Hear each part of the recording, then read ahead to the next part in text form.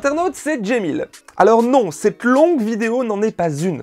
Non, c'est la rediffusion audio d'une première d'un format qui s'écoute donc. Tu peux donc vaquer à tes occupations en même temps ou alors te poser confortablement avec un thé. Mercredi dernier, vous avez été plusieurs dizaines à avoir suivi et même participé, puisque c'était en direct et interactif, à cette première, euh, ce podcast improvisé euh, sur l'application Stéréo.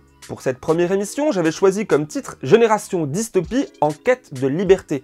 Un thème qui nous a emmené de la commune de Paris, dont nous fêtons, nous commémorons les 150 ans euh, actuellement, jusqu'au gilet jaune, et plus proche encore, cette situation, gestion politique de cette crise sanitaire où euh, bah, les injustices, les euh, atteintes à nos libertés, etc., et les violences ne font que exploser, s'enchaînent, et où toujours eh ben, reste au centre notre soif de liberté, justement. Et j'avais décidé d'inviter mon amie Lisiane, qui est éditrice libertaire, pour en parler avec elle et avec les internautes connectés, puisque ceux-ci nous ont envoyé plus de 50 messages vocaux durant le direct. Si tu apprécies ce format audio ou si tu as des commentaires à me faire, n'hésite pas à te, bah, te saisir de ton clavier et de t'exprimer dans l'espace commentaire en dessous de la vidéo, de laisser des pouces, de t'abonner à la chaîne YouTube, bref, tu connais la chanson. Bonne écoute.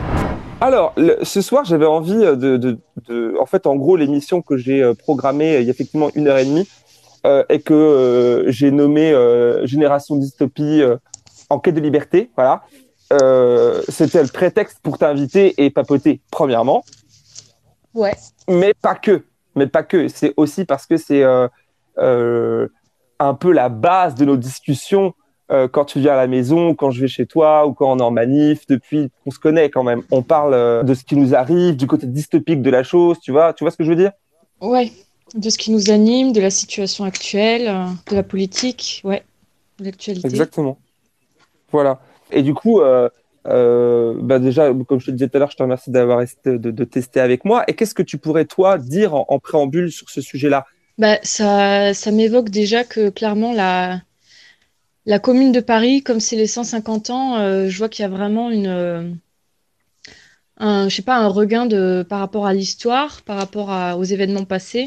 Et, euh, pour moi, c'est, une très bonne chose parce que ça veut dire qu'on s'empare de cet événement historique, qu'on peut faire des liens avec le, présent, qu'il y a des choses à retenir de la commune de Paris, j'imagine, et qu'on peut en profiter peut-être pour s'en servir comme un, comme un tremplin pour, euh, pour mieux comprendre ce qui se passe, ce qu'on peut faire et ce qui est en train de se jouer au niveau politique, au niveau des restrictions de liberté. Donc, euh, je trouve que c'est déjà bien d'avoir choisi ça comme, comme axe, en fait. Et, et voilà, donc un petit peu pour faire le lien par rapport à, à ton titre de d'émission. Ouais. Et euh, tu vois, je te connais bien. Et puis je te connais bien. ah bah oui, bah oui, oui. en et tout cas, sur ça, il n'y a pas photo. non, non, mais c'est bon. et, et, effectivement, ouais. Et toi, pourquoi euh... tu as choisi ce sujet-là aussi? Parce que c'est toi qui l'as rédigé, hein. moi je découvre. Hein. Bien sûr. Euh, bah parce que euh, alors pourquoi? Parce que là, je suis en train de travailler à cet instant. C'est assez agréable de pouvoir discuter là et de pas avoir à, à être beau en image là. J'apprécie grave cet outil parce que je suis chez moi, je suis en, en, euh, devant mon bureau et je suis en train de travailler depuis deux trois jours sur une vidéo. Je réponds à ta question hein, euh, sur une vidéo qui parle justement de ça, c'est-à-dire qui euh, le thème de, de, fond de la vidéo de, qui sortira demain soir, c'est le complot, le complotisme. Et du coup, c'est un sujet méga vaste parce que qu'est-ce qui est, qu'est-ce qui est complot, qu'est-ce qui est complotisme, qu'est-ce qui est conspirationnisme, etc. C'est des mots complètement différents mais qui se rejoignent. Euh, eh bien, en creusant le sujet depuis quelques jours pour écrire celle-ci et la tournée hier, eh bien, je me suis rendu compte que euh, toutes les personnes ou, les groupes de personnes qui, euh, selon toutes les époques, hein, revenaient remettre en question l'ordre des choses d'une société se faisait taxer de, complot, de complotiste. Et du coup, euh, ça, rentrait en écho un petit peu avec, euh, et puis pas que traité, c'était, euh, on allait jusque pour faire écho à la, à la commune de Paris, on allait jusqu'à déporter, fusiller, éradiquer les personnes qui ne rentraient pas dans, dans le, le, bon ordre, le bon chemin, tu vois. Et toutes ces personnes ouais. ont, en commun la recherche de liberté. Alors, qui se trompe ou pas, parce qu'encore liberté, il faut définir, mais ils ont cette recherche-là de la liberté, cette soif-là. Et c'est pour ça que j'avais envie d'en parler ce soir avec toi. Ouais. Alors, euh, moi, j'ai jamais été taxée de complotiste. Ah, euh, ouais. Non, non, ça m'est jamais tu arrivé. saurais me dire pourquoi? Tu saurais me dire pourquoi? Tu sais quoi pour toi, euh, justement, ça, le complot, le complotisme? Alors là, tu me sujet, balances euh. un truc là comme ça. Euh, euh, ben, je sais pas, moi j'ai l'impression que la, la, la frontière elle est mince entre euh, les personnes qui, qui ont l'impression au fait qu'on est, que tout est organisé, qu'il y a une, un groupe de personnes qui organisent la, la marche du monde. Et la frontière elle est mince entre ça et euh, simplement que le système euh, en fait euh, nous amène à Enfin, le système est tel que, que du coup, c'est pas, pour moi, c'est, enfin, pas un complot, mais c'est, c'est une, une mécanique. En fait, c'est une, une, le capitalisme qui, qui, qui finalement, je sais pas trop comment l'exprimer, mais qui, qui fait qu'il y a des intérêts à, on- enfin, on peut profiter des, des situations euh, actuelles, c'est-à-dire la crise sanitaire, pour euh, favoriser certains intérêts d'une certaine classe, mais c'est pas organisé, c'est pas, euh, c'est pas délibéré. Il n'y a pas vois, un plan, pas, tu veux dire, il n'y a pas voilà, des extraterrestres qui Voilà. viennent, qui- voilà le truc. Voilà, pour toi, c'est ça. Ok. Et j'ai l'impression que la frontière, elle est mince entre, entre une analyse systémique qui favorise les intérêts de certaines personnes, euh, qui sont certes euh, restreintes, et le complot qui veut vraiment dire quelque chose de, de conspiration, d'organisé, de, tu vois, comme s'il y avait des réunions secrètes, et tu vois. Et donc, je pense que peut-être c'est ça que tu essaies de dire que euh, finalement, euh, euh, c'est facile de mettre tout le monde dans la case du complot, alors que, alors qu'en fait, il y a, y a des gens qui pensent un petit peu différemment et, et qui sont pas Exactement. non plus euh, parano, quoi. Non, exactement, parce que quand je te dis ça, c'est que tu aurais pu très bien euh, te faire taxer de complotiste si tu passais sur une, euh, je sais pas, une émission télé, une émission radio de grande écoute face à quelqu'un qui serait de l'ordre, ouais, facilement, si tu passerais à la télé, tu te retrouverais plus facilement devant un chien de garde du capital que euh, quelque chose de- qui te ressemble ou qui me ressemble et qui te dirait juste par le- ton propos tenu là, c'est-à-dire ah oui, euh, vous pensez vraiment que le gouvernement euh, profite de la situation pour restreindre nos libertés? Bah vous êtes une complotiste. Tu vois? Oui. Alors qu'effectivement, que- Après, le, le- le propos, le- euh, je termine là-dessus, attends, la, la, la, la définition que tu as donnée, c'est la vraie définition du complotisme. C'est-à-dire vraiment, le complot, c'est ça, c'est dire qu'il y, a y a un événement communément admis, voilà, il s'est passé comme ça, et, et, et, et du coup, dire qu'il y a une- un groupe de personnes restreintes qui a œuvré pour, euh, pour autre chose, c'est ça du complot. Ce que, mais pour le coup, on traite de gens de complotistes, même en dehors de cette définition. mais après, ça me paraît quand même difficile d'expliquer euh, le complot ou simplement de faire une analyse euh, euh, politique. Euh, dans les deux cas, ça me paraît euh, compliqué de le faire en, en trois minutes euh, top chrono. Donc effectivement, c'est bah oui. facile après de discréditer n'importe qui en disant c'est un complot, c'est un mot facile, c'est un mot valise, quoi. Euh, mais après, tu vois, j'avais justement vu euh, un- une émission très intéressante sur YouTube il y a quelques semaines qui s'appelle, euh, c'est sur la chaîne YouTube Débat d'idées, je sais pas si tu l'as vu, avec, euh, en fait, c'est un, c'est un mec qui fait euh, des débats entre, euh, entre deux personnes, en général de bords politiques différents. Et, euh, et Mhm. là, l'émission, c'était à date du 2 mars, parce que je l'ai, je l'ai retrouvé là sous les yeux. C'est entre Greg Tabibian et, euh, et le débunker des étoiles. Et c'est sur le complotisme. Et euh, c'est une émission qui dure, euh, qui dure plus de deux heures et qui justement euh, bah, pose des questions très intéressantes euh, par rapport à ça. Qu'est-ce que le complot? Et euh, les, les avis des deux interviewés sont vraiment intéressants pour le coup. Donc, euh, Ah ben, tu vois, je renvoie les gens qui nous regarder. écoutent euh, ouais, à cette émission-là. Ça s'appelle Débat d'idées. Et euh, Eh bien, en parlant de gens qui nous écoutent, il y a Pagali qui a un truc à nous dire, mais il y a déjà quelques minutes, on va écouter. Eh ben, je suis trop contente de vous avoir donné la solution, moi qui ai 59 ans. C'est ma victoire de la journée. C'est la personne qui nous Et a bam dit effectivement comment que c'était euh, que c'était de ton côté que ça merdait. Mais il y a Stéphane qui nous parlait il y a 21 On heures. voit bien avec la gestion de la crise en ce moment dans le monde, c'est improvisé, c'est pas du tout un complot. C'est pas con ça de nous dire que il y a de l'impro euh, que ça démonte l'idée euh, du complot organisé quand on voit le gros bordel qui règne partout. ouais, Ou de l'amateurisme, ou de l'inconséquence. Ouais. Je sais pas. de l'opportunisme. Ah bah, le- tout ça, je pense, ça rentre dans la même, la même, la même case, hein, pour le coup, quand tu regardes euh, comment Ouais. ça se... Enfin, pour moi, en tout cas, je vois ça comme ça, quoi. Alors, il y a, y a Simona euh, Betty qui nous, qui nous Dans le parle. Larousse, définition du complot, atteinte aux intérêts fondamentaux de la nation. Définition d'un complotiste, celui qui croit à l'existence d'un complot. Que faisons-nous maintenant de ces définitions? Ah, de Atteinte phrase. aux intérêts de la nation. Ouais, tu vois? Eh, c'est la définition de quoi? Euh, qu'elle dit euh, pour ça? Complot? Complot? Non, pas complot. Dans le Larousse, définition du complot, atteinte aux intérêts fondamentaux de la nation. Ah ouais? Définition d'un complotiste, celui qui croit à l'existence d'un complot. Que faisons-nous maintenant de ces définitions? Ouais. Donc le complotiste, c'est ça, celui qui, qui pense qu'il y a un complot, c'est pas celui qui fait les complots. Donc sinon, c'est les comploteurs, j'imagine. Bah, tu vois, c'est c'est intéressant de creuser. euh, Du coup, moi, ce qui- là, ce qui m'interpelle, moi, c'est le côté les intérêts de la nation. Ça, j'avais jamais lu ça. Que le complot était. euh, Je suis en train de faire du fact-checking, là, je suis devant mon écran. Et je regarde euh, la- le Larousse. Attends, je le trouve même pas. Si, là. Ah oui, effectivement. Atteinte. Alors, c'est pas que je te crois, je ne te croyais pas euh, Betty, mais j'aime bien lire son- de mon propre chef. Atteinte aux intérêts fondamentaux de la nation. C'est intéressant, ça. Bah parce que si tu vas par là, bon, c'est très vague comme définition, mais si tu vas par là, dans ce cas-là, c'est tout le temps.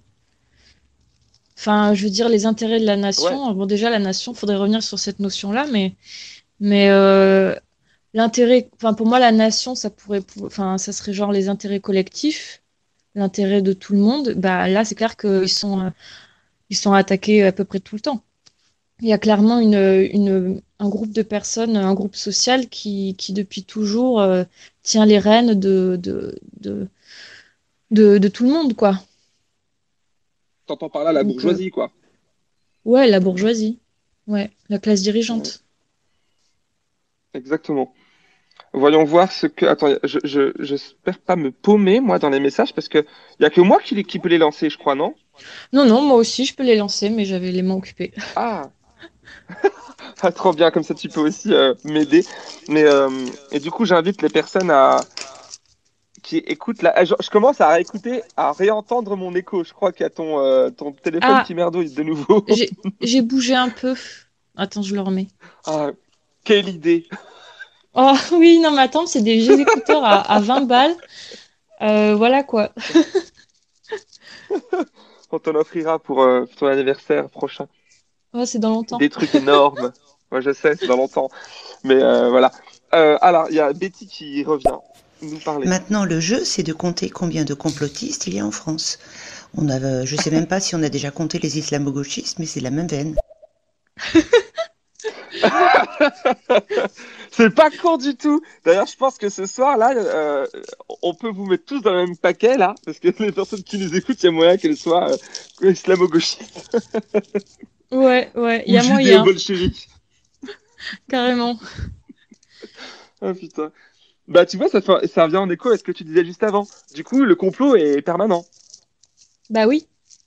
Mais euh, ça rejoint un peu ce que, ce que dit euh, Greg Tabibian dans cette émission, en fait. C'est que euh, il y a vraiment ce- cette opposition entre les intérêts d'une poignée de gens et la classe dirigeante et les intérêts de, de tout le monde qui sont euh, forcément euh, opposés, ils sont forcément antinomiques. Oui, c'est clair. Et du coup, euh, le, le, euh, si, si on suit les débats euh, télévisés, euh, que- euh, télévisés ou même dans les journaux, genre le Canard enchaîné, etc., où il y a du commentaire et du coup, ça nourrit, ça nourrit euh, cette machine, cette machine-là en fait, le complot permanent. J'ai l'impression en fait, je le vois, je le vois comme ça du coup. Ouais, ouais. Euh, Mais, euh, Alors il y a Pagali qui nous, oui, dis-moi, vas-y, dis-nous. Ouais, non, mais je me disais juste que j'étais un peu étonnée parce que euh, je croyais que tu faisais une vidéo sur la commune. Et puis finalement, tu me parles d'une vidéo moment. sur le complotisme. En fait, tu commences plein de vidéos et t'en finis jamais, quoi. Alors ça, c'est la base de mon travail, Liliane, de commencer plein de choses et de pas les finir. c'est même toute ma vie. Tu vois La seule chose que je vais finir, c'est ma vie. À un moment donné, elle, il y aura un rendez-vous. Je vais pas la, je vais pas louper. Mais euh, c'est trop drôle, tu me fais marrer. Euh, ouais, euh, non, non, la vidéo sur la commune, euh, elle, elle est en cours d'écriture. Et en fait, c'est un peu comme euh, les autres choses que j'écris. Je, quand, quand il y a quelque chose qui me tient vachement à cœur comme ça, un sujet qui me, sur lequel je lis beaucoup, sur lequel, que- eh ben, j'ai tellement envie d'être euh, parfait, mais c'est pas le bon mot. Enfin, euh, tu vois, pile, pile. J'ai j'ai envie que ce soit, euh, oui, si, c'est parfait en fait, parfait à mes yeux, que euh, que du coup je me fous une pression monstre et du coup ça n'avance pas et, et, et du coup et je fais pas. Donc euh, je ne sais pas encore l'angle que je vais prendre véritablement pour la vidéo sur la commune, Hum, mais je pense que je vais, euh, tu sais, la première idée que je t'avais soumise, Sur les, portraits les des femmes. femmes, oui. Oui. Exactement. Je pense que je vais plutôt faire ça. Euh, et en vérité, du coup, euh, comme ça fait quelques semaines euh, qui commencent à être nombreuses, euh, que euh, entre le déménagement, euh, les, toutes les amendes qui me sont tombées sur la gueule, enfin, il y a pas mal de trucs qui m'ont un petit peu euh, bousculé dans mon euh, ronronnement qui durait depuis 2-3 ans, euh, tu sais, la façon dont je, je travaillais, que je produisais, etc. Que du coup, me remettre dans le bain, ça, c'est un peu plus compliqué que je pensais. Et euh, mais ça va venir, voilà. Donc c'est pour ça, la vidéo de demain, elle va être intéressante, hein, je t'assure. Ce sera pas la commune, mais Ouais. Après, euh, moi, c'est un peu pareil quand j'écris mes chroniques. hein. Clairement, euh, j'ai euh, j'ai plusieurs chroniques en cours et, euh, et je prends le temps de les rédiger. Et puis si j'ai s'il y a encore un truc qui me qui me chiffonne, je, je préfère attendre euh, encore plusieurs semaines avant de la publier, quoi. Eh ben tiens, c'est le euh, parfait, euh, le parfait moment pour pouvoir dire que, en plus d'être, euh, de travailler dans l'édition, euh, ben en plus c'est peut-être presque une logique. Tu écris aussi un, un blog que tu tiens depuis plusieurs années aussi, toi. Est-ce que tu peux Oui. nous en parler? Tiens, euh, prends un peu le temps là pour que les gens puissent aller euh, te lire. Ben, mon blog, c'est Bibliolingus. Et euh, ça fait quelques années, oui, ça fait 9 ans que je l'ai Salut. que je l'ai créé. Et euh, les premières années, je, je ne chroniquais que des ouvrages, enfin que des romans. Et puis, euh, et puis après, je suis passée aux essais. Puis j'avais un équilibre entre les romans et les essais. Et puis finalement, je ne fais quasiment que des essais.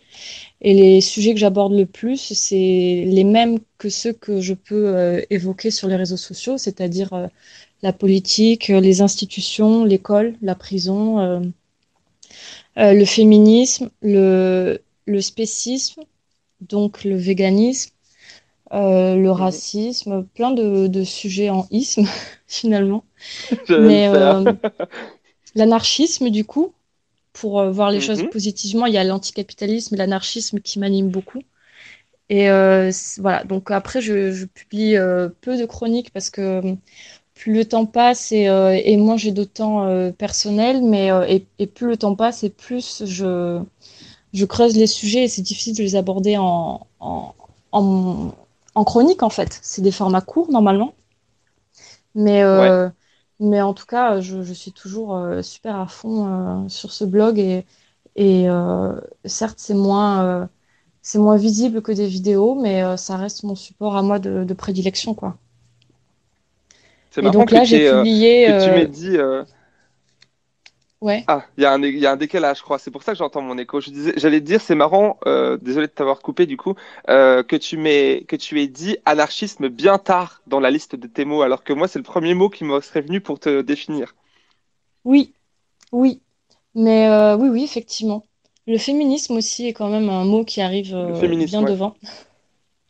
Mais oui, non, j'allais dire que euh, j'allais dire que ma dernière chronique, je l'ai publiée là il y a une dizaine de jours, et c'est sur la commune justement, c'est sur la manière dont on, dont les groupes politiques, qu'ils soient de gauche ou de droite, se sont emparés de, de, de cette mémoire-là pour, euh, pour euh, la, la servir, pour la récupérer en fait. Et, euh, et je trouve que c'est très intéressant parce que c'est pas tout de connaître la commune, mais c'est intéressant aussi de voir. C'est mon chat qui, qui gratte. C'est intéressant aussi de voir la, la manière dont, tu vois, le, les, les gens ont pu voir la, la commune, par exemple, pendant la Première Guerre mondiale, pendant la, la Révolution russe de 1917, comment, euh, comment on a pu voir la commune euh, en 1968, par exemple, euh, comment on la voit de nos jours. Donc c'est vraiment intéressant de, de faire euh, une histoire de l'histoire, en fait. C'est clairement ça. Donc voilà, ça c'était ma Oui, dernière chronique euh, en date. Et c'est hyper intéressant, hyper important même, parce que euh, ça rentre en écho avec le sujet de notre discussion là, le fait que euh, bon, c'est aussi les 150 ans. Euh, c'est pas une date au hasard. euh, 1871, euh, 2021, c'est il y a des affiches partout. Enfin, il y avait des affiches partout dans Paris. Je, je sais pas si t'avais not- noté, mais elles y sont plus. Il y a plus que des bit Ah. rentrés dans le jeu, dans le game. Il y a plus que ça. C'est terrible. Non, j'avais pas vu le qu'elles étaient plus. Mais Ouais, euh, après, par rapport, fait quelques jours, il y en a plus. par rapport à la, à, à l'anniversaire, c'est vrai que c'est Ouais. une, une occasion en or. Tu vois, là, je le vois, moi, de, de mon point de vue d'éditrice, de libraire et de blogueuse, je vois très bien qu'il y a un engouement. Tu vois, il y a, y a plein de bouquins qui, qui sortent là, euh, ce printemps par rapport à ce sujet-là. Mais clairement, la commune de Paris, euh, ça fait quand même quelques années qu'elle est à nouveau présente. En même temps que l'anarchisme, puisque c'est clairement euh, lié. Enfin, la, la commune, c'est vraiment l'idée de, de collectif euh, euh, Le d'autogestion. communalisme. Le communalisme ou le municipalisme, exactement. Et le fait Mhm. est que si tu, si tu remontes déjà euh, en 2016, tu as déjà autour de Nuit debout, euh, tu as déjà l'idée de commune, tu as déjà des, des collectifs, des universités qui ont créé des petites communes, euh, tu vois, euh, des, des mouvements, euh, des mouvements de, de, de communes dans les universités. Donc, pareil, les indignés, il me semble qu'ils ont aussi euh, eu cet Oui. imaginaire-là de la commune. Donc, c'est pas euh, propre aux 150 ans. C'est clairement, euh, de, de mon point de vue, hein, c'est clairement euh, un, un imaginaire qui est en train de ressurgir ces dernières années. Mais c'est vrai que le fait que ce soit les, 50, les 150 ans, c'est une aubaine pour, euh, pour justement en reparler et, et s'en emparer à nouveau, quoi, et de manière plus, plus intense, quoi. Bah, tu, euh, clairement, c'est marrant d'entendre ton chat derrière. On a l'impression que c'est un gosse qui est en train de... qui papote, en fait. oui. Non, mais c'est marrant parce que quand je suis là, il parle pas comme ça. Et là, euh, là, il parle beaucoup. Bon, Ah, mais il, est- il je- est ce toujours comme voulais- ça, en vrai. Il est très bavard, mon chat. Comme moi. ah ouais, ouais. Mais tant mieux, c'est une chose à dire. Lui aussi, il a mille choses à dire. Oui. Euh, ce que je voulais dire de mon côté, c'est que euh, effectivement, les 150 ans, c'est, ça a donné un coup de boost parce que on, a vu qu'il y avait plein de livres qui se préparaient, qui sont sortis un peu en même temps. À cette occasion, c'est normal. Mais euh, euh, pour pour être en écho un peu avec le titre de l'émission qui est euh, dystopie et liberté, nos soifs de liberté, est-ce que c'est, c'est c'est un peu ça aussi, le fait que la Commune de Paris euh, d'abord, parce que ce remonte, tu me corriges, toi qui as plus travaillé sur le sujet pour ta, ta chronique, mais d'abord, ça a été une humiliation, une, une, euh, un souvenir presque à oublier, hein, enfin quelque chose de dur pour, la, pour les gens, les libertaires, les gens de gauche pendant longtemps. Et, et depuis quelques décennies, c'est devenu euh, un peu un étendard, un idéal à. Enfin, ça vient servir euh, de moteur un peu comme ça, en fait, en disant voilà ce qu'on a pu faire, on peut refaire, on peut recommencer. Et on voit que depuis quelques années, pour diverses raisons, nos libertés sont individuelles et collectives, elles sont atteintes de partout. Et c'est peut-être sur ce terreau-là, justement, au-delà de l'anniversaire, euh, que, euh, que l'imagerie, parce que c'est ça hein, maintenant, hein, l'imagerie de la, commune de Paris euh, nous sert. Je ne sais pas en quoi, mais moi, ça me, ça me fait du, je sais pas si c'est du bien, mais en tout cas, ça me booste un peu de lire des choses sur la commune depuis un moment là. Ouais, Peut-être ouais. que c'est le cas pour beaucoup de gens en fait. Mais euh, oui, ça, je pense qu'effectivement, ça, ça fait écho parce que clairement, on voit bien que euh, mettre en bulletin de vote tous les, tous les deux, trois ans, ça n'a pas de sens. Et, euh, Ouais, et qu'il y a plein de problèmes qui, qui peuvent se résoudre et, euh, à l'échelle de la commune. Donc, je pense que c'est ça aussi, c'est que tout est beaucoup trop centralisé. Et donc, on voit en fait la limite de la, de la Cinquième République. Ah bah Et ça, là, c'est on la voit, on la voit d'autant plus que clairement, il y a un homme qui est au pouvoir, euh, qui demande même plus l'avis de son conseil pour, euh, pour prendre des décisions. Donc là, ça pèse d'autant plus que, que pendant le Covid, on, on voit clairement qu'il décide pour tout.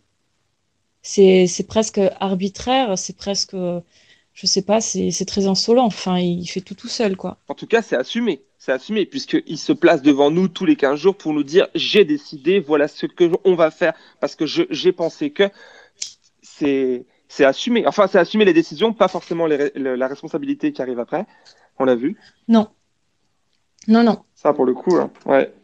Bah, justement, euh, euh, ce, qui, ce qui fait beaucoup Macron, c'est de dire euh, j'ai fait ci, j'ai fait ça, j'ai pris telle décision. nous avons peut-être fait des erreurs. Ah non, c'est toi qui as fait des erreurs. c'est toi tout seul qui a décidé les choses. Et puis, tu vois, en fait, il, il fait vraiment ça de, de socialiser les erreurs et de privatiser les, les profits, quoi. Enfin, les, les, bonnes, les bonnes décisions, c'est jeu. Et les erreurs, c'est nous. Je vois. Je vois avec à quoi tu fais référence là. Tu fais référence à socialiser les pertes et privatiser les profits comme, c'est la, la, marque du capitalisme, mais ça va jusque dans, jusque dans les décisions prises en fait. Exactement. Il y a une personne qui nous parle depuis tout à l'heure et, on a oublié de cliquer sur play. Euh, ça fait déjà une dizaine de minutes. On va voir ce qu'elle nous dit. Si c'est plus dans... on va voir après pour Betty aussi. Le truc, c'est je suis pas d'accord avec toi ou tu racontes des conneries. Tu es un complotiste oui, c'est une manière de nous, de nous discréditer, clairement. Clairement, c'est ça. On le voit d'ailleurs sur les plateaux de télé, pour faire juste une aparté comme ça rapidement, euh, il y a souvent une personne, on va dire, pour faire un gros raccourci, une personne de gauche pour 4, pour 5 personnes de droite, libérales, et euh, c'est de l'acharnement, c'est euh, le discrédit total à chaque fois sur la, la personne en question. et récoutons Betty, du coup, qui nous a envoyé un message il y a deux minutes. Si encore c'était que tous les deux ou trois ans le bureau de vote, on n'aurait eu Macron que deux ou trois ans, mais quel rêve En fait, je disais deux ou trois ans par rapport aux, différentes élections. Ouais, que dire régional, etc. Ouais, ouais, clairement. Euh, là, c'est le moment pour, c'est le moment où j'allais espérer dire l'heure pour 2022. On peut espérer quand même que que dans un an, il ne pourra pas euh, se représenter. En tout cas, il sera pas, il n'aura pas la légitimité qu'il a réussi à obtenir grâce aux médias euh, il y a quatre ans. Espérons que on aura tous euh, et toutes tiré un trait sur ce, mec. Hmm. C'est pas, c'est pas la discussion que je vais avoir. c'est horrible parce que c'est tellement facile. Là, je pourrais enchaîner, passer la 2, la 3 sur ça. Tu vois, c'est tellement simple. Euh, mais on va pas le faire. Si tu, on va pas le faire. J'ai vraiment envie qu'on reste sur euh, sur euh, sur le sujet là. Alors que j'ai envie aussi quelque part hein, de dire ah non non pas lui. puis des anecdotes genre ah, bah il compte se présenter sans l'étiquette La République en marche. Tout ça je le sais. Et toi aussi. Et c'est absurde. Mais n'en parlons pas pour l'instant. Il y a Betty qui revient. Et d'ailleurs les autres personnes qui nous écoutent. N'hésitez pas à appuyer avec votre doigt sur le, bouton qui vous permet d'envoyer un vocal, comme si nous étions ensemble sur euh, Signal ou sur Telegram ou WhatsApp, ça marche pareil. Il sortira probablement son joker. Édouard Philippe. elle, veut nous faire parler de ça. J'ai vu des, vidéos d'Edouard Philippe, là, des photos du mec un petit peu euh, euh, bien droit là dans sa ville avec euh, la chemise remontée comme ça, un petit un petit bouton euh, d'ouvert sur de lui, tu sais, genre il, est en bonne santé, il prépare. Tu vois, j'ai vu ces images et je connais la mécanique de du de la présidentialisation d'une personne et ça m'avait l'air d'être un peu le cas pour lui. Après, je sais pas si c'est son Joker ou si c'est son Judas, hein, parce que clairement, il pourrait simplement lui voler la vedette et, prendre sa place et sans forcément euh, garder Macron après dans son équipe. Ouais, est-ce que Macron veut vraiment euh, le pouvoir C'est ça hein, Peut-être c'est peut-être en mission euh, pour tiens en parlant de complot là en mission pour pour faire bouger la législation dans le sens du dans le bon sens pour l'entreprise dans laquelle il arrivait enfin depuis laquelle il arrivait vers laquelle il va repartir ensuite peut-être qu'il y a aussi ça hein. bah, l'entreprise, euh, il était chez Rothschild pendant un moment. Au-delà de l'idéologie, c'est les premiers à nous dire qu'ils font pas de l'idéologie, qui, eux, ils sont pragmatiques, machin que truc. Peut-être qu'ils y croient, hein, et qui, et pour eux, je crois que même qu'ils y croient véritablement, et que euh, et l'idéologie est forcément de gauche, est forcément communiste, libertaire, etc. Et euh, et que du coup, ils bossent avec pragmatisme pour pour repartir chez Rothschild ensuite, comme Macron, comme euh, Sarko est reparti euh, dans les affaires, Ah oui, comme oui, Fillon aussi, etc. Donc Tout le coup fait, du. Judas, peut-être pas, façon- à moins que. Ils sont, Ouais.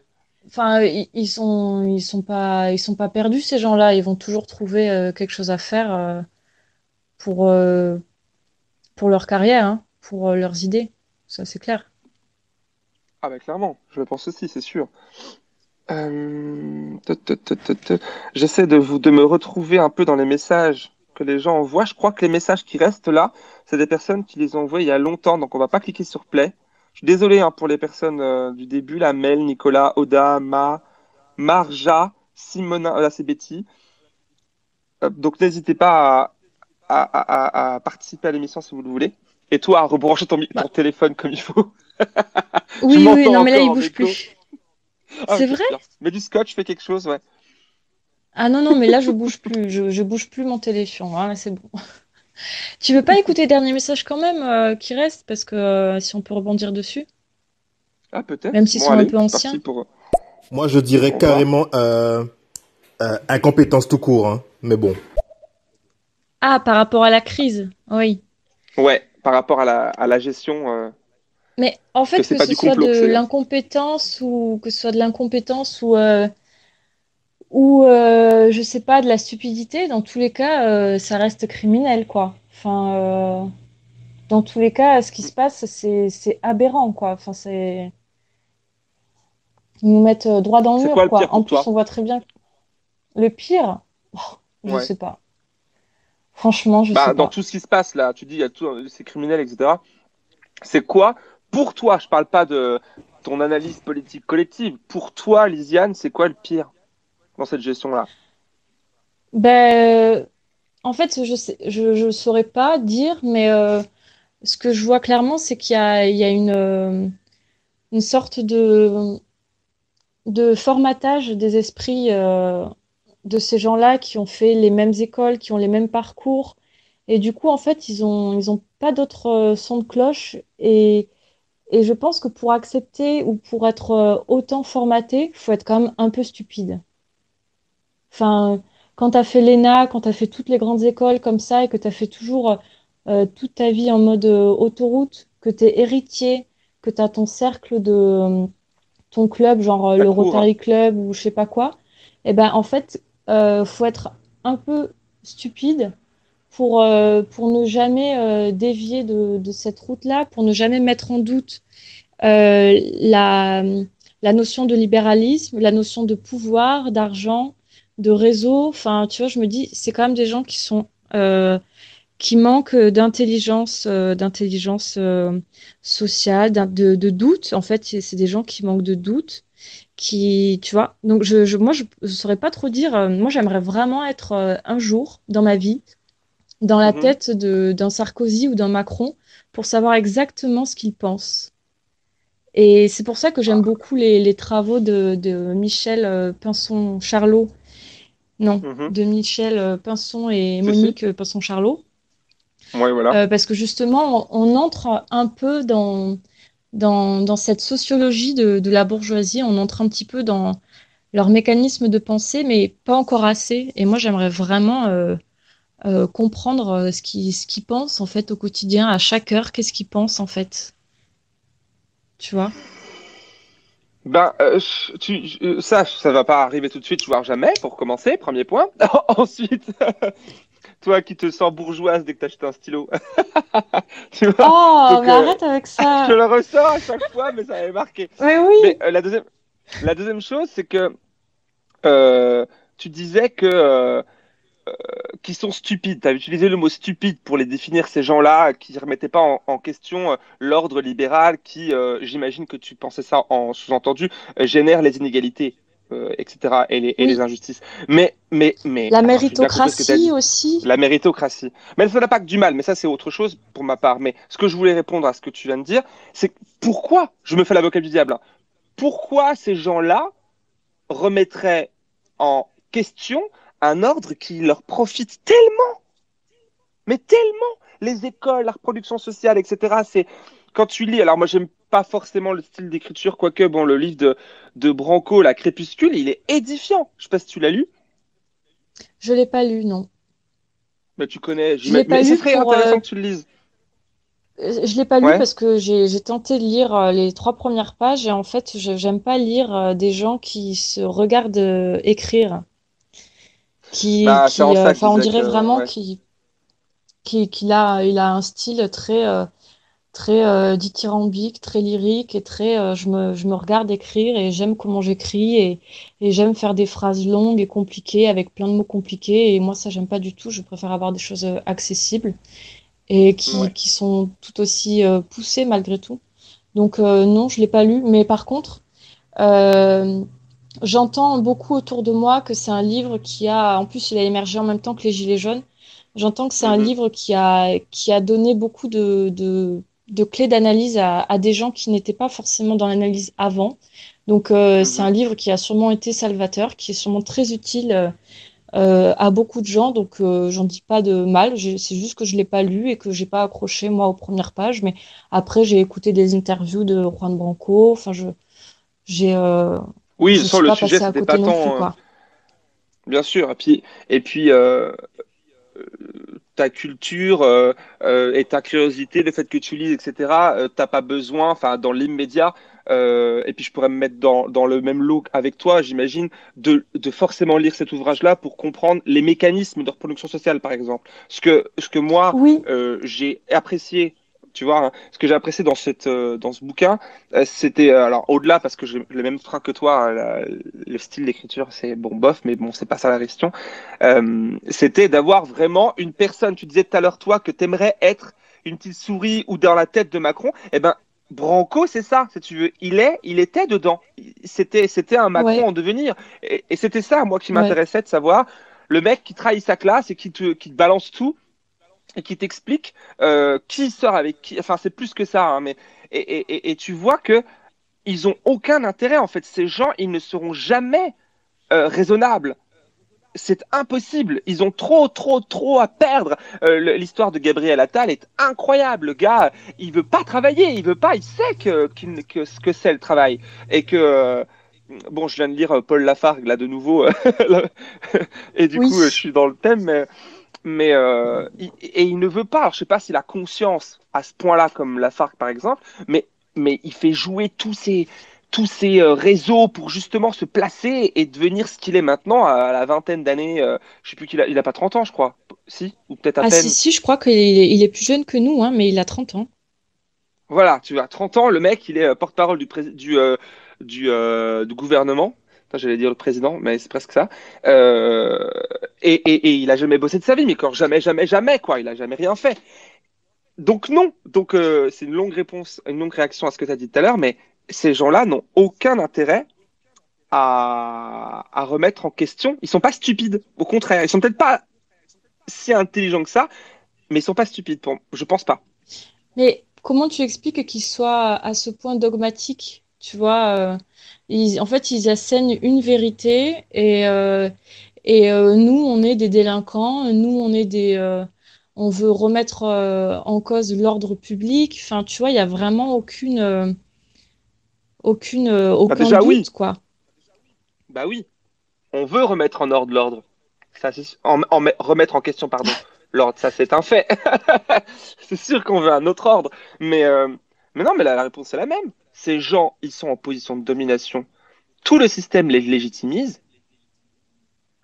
Euh, ils, ils, ils sont pas, enfin, ils peuvent, même s'ils savent, au fond, regarde, Macron le disait l'année dernière au mois de mars, il y a des biens et des services qui doivent rester en dehors des marchés. Dans son discours, on aurait cru qu'il avait euh, rencontré Mélenchon la veille et puis qu'il avait trop trouvé que c'était cool. Enfin, tu vois, et, Ouais, tu parles. il le, il, oh, pas du tout, évidemment, mais donc ils ont conscience, ils ont conscience qu'ils sont euh, la plaie euh, et qu'ils sont dépendants de nous, de notre labeur et tout.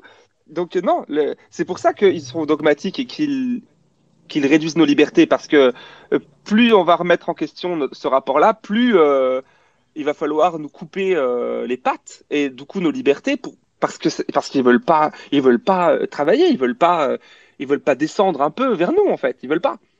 On les comprend. Mais si tu, si, si tu descends un, un échelon en dessous, euh, Ouais. l'étude des, euh, des, des écoles de commerce c'est vraiment intéressant aussi euh, parce que t'as, tu vois vraiment quand même la, la fabrique d'une d'une classe sociale qui, à qui on, on donne des, des, des cours très superficiels où il y a peu de culture générale, où c'est vraiment le management avant tout, c'est vraiment vous êtes l'élite de la nation. Enfin, et là, je trouve qu'il y a une fabrique de la stupidité quand même.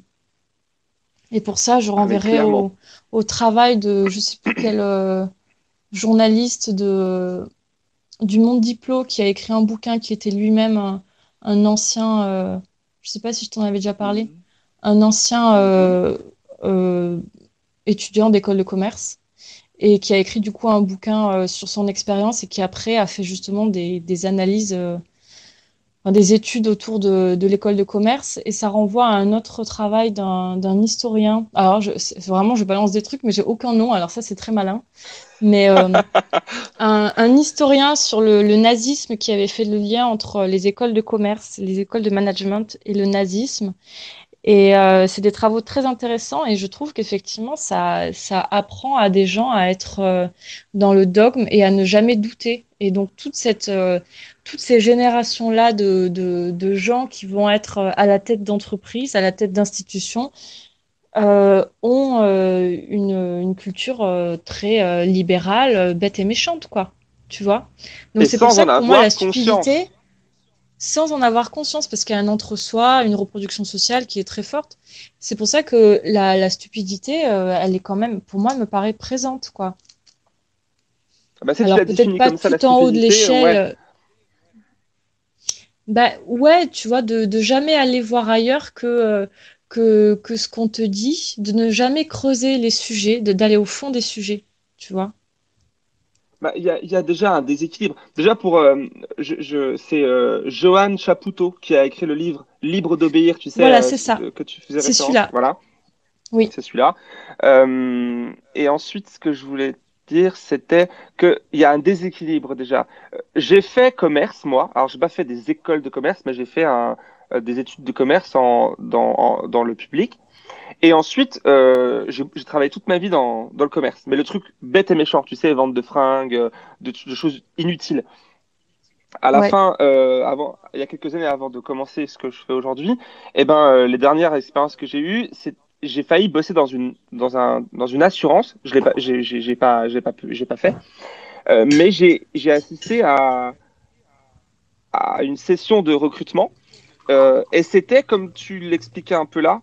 Euh, la stupidité, c'est-à-dire vraiment la personne, le, recruteur s'était garé avec sa putain, c'était en Suisse en plus, hein, c'était le combo parfait, les assurances en Suisse.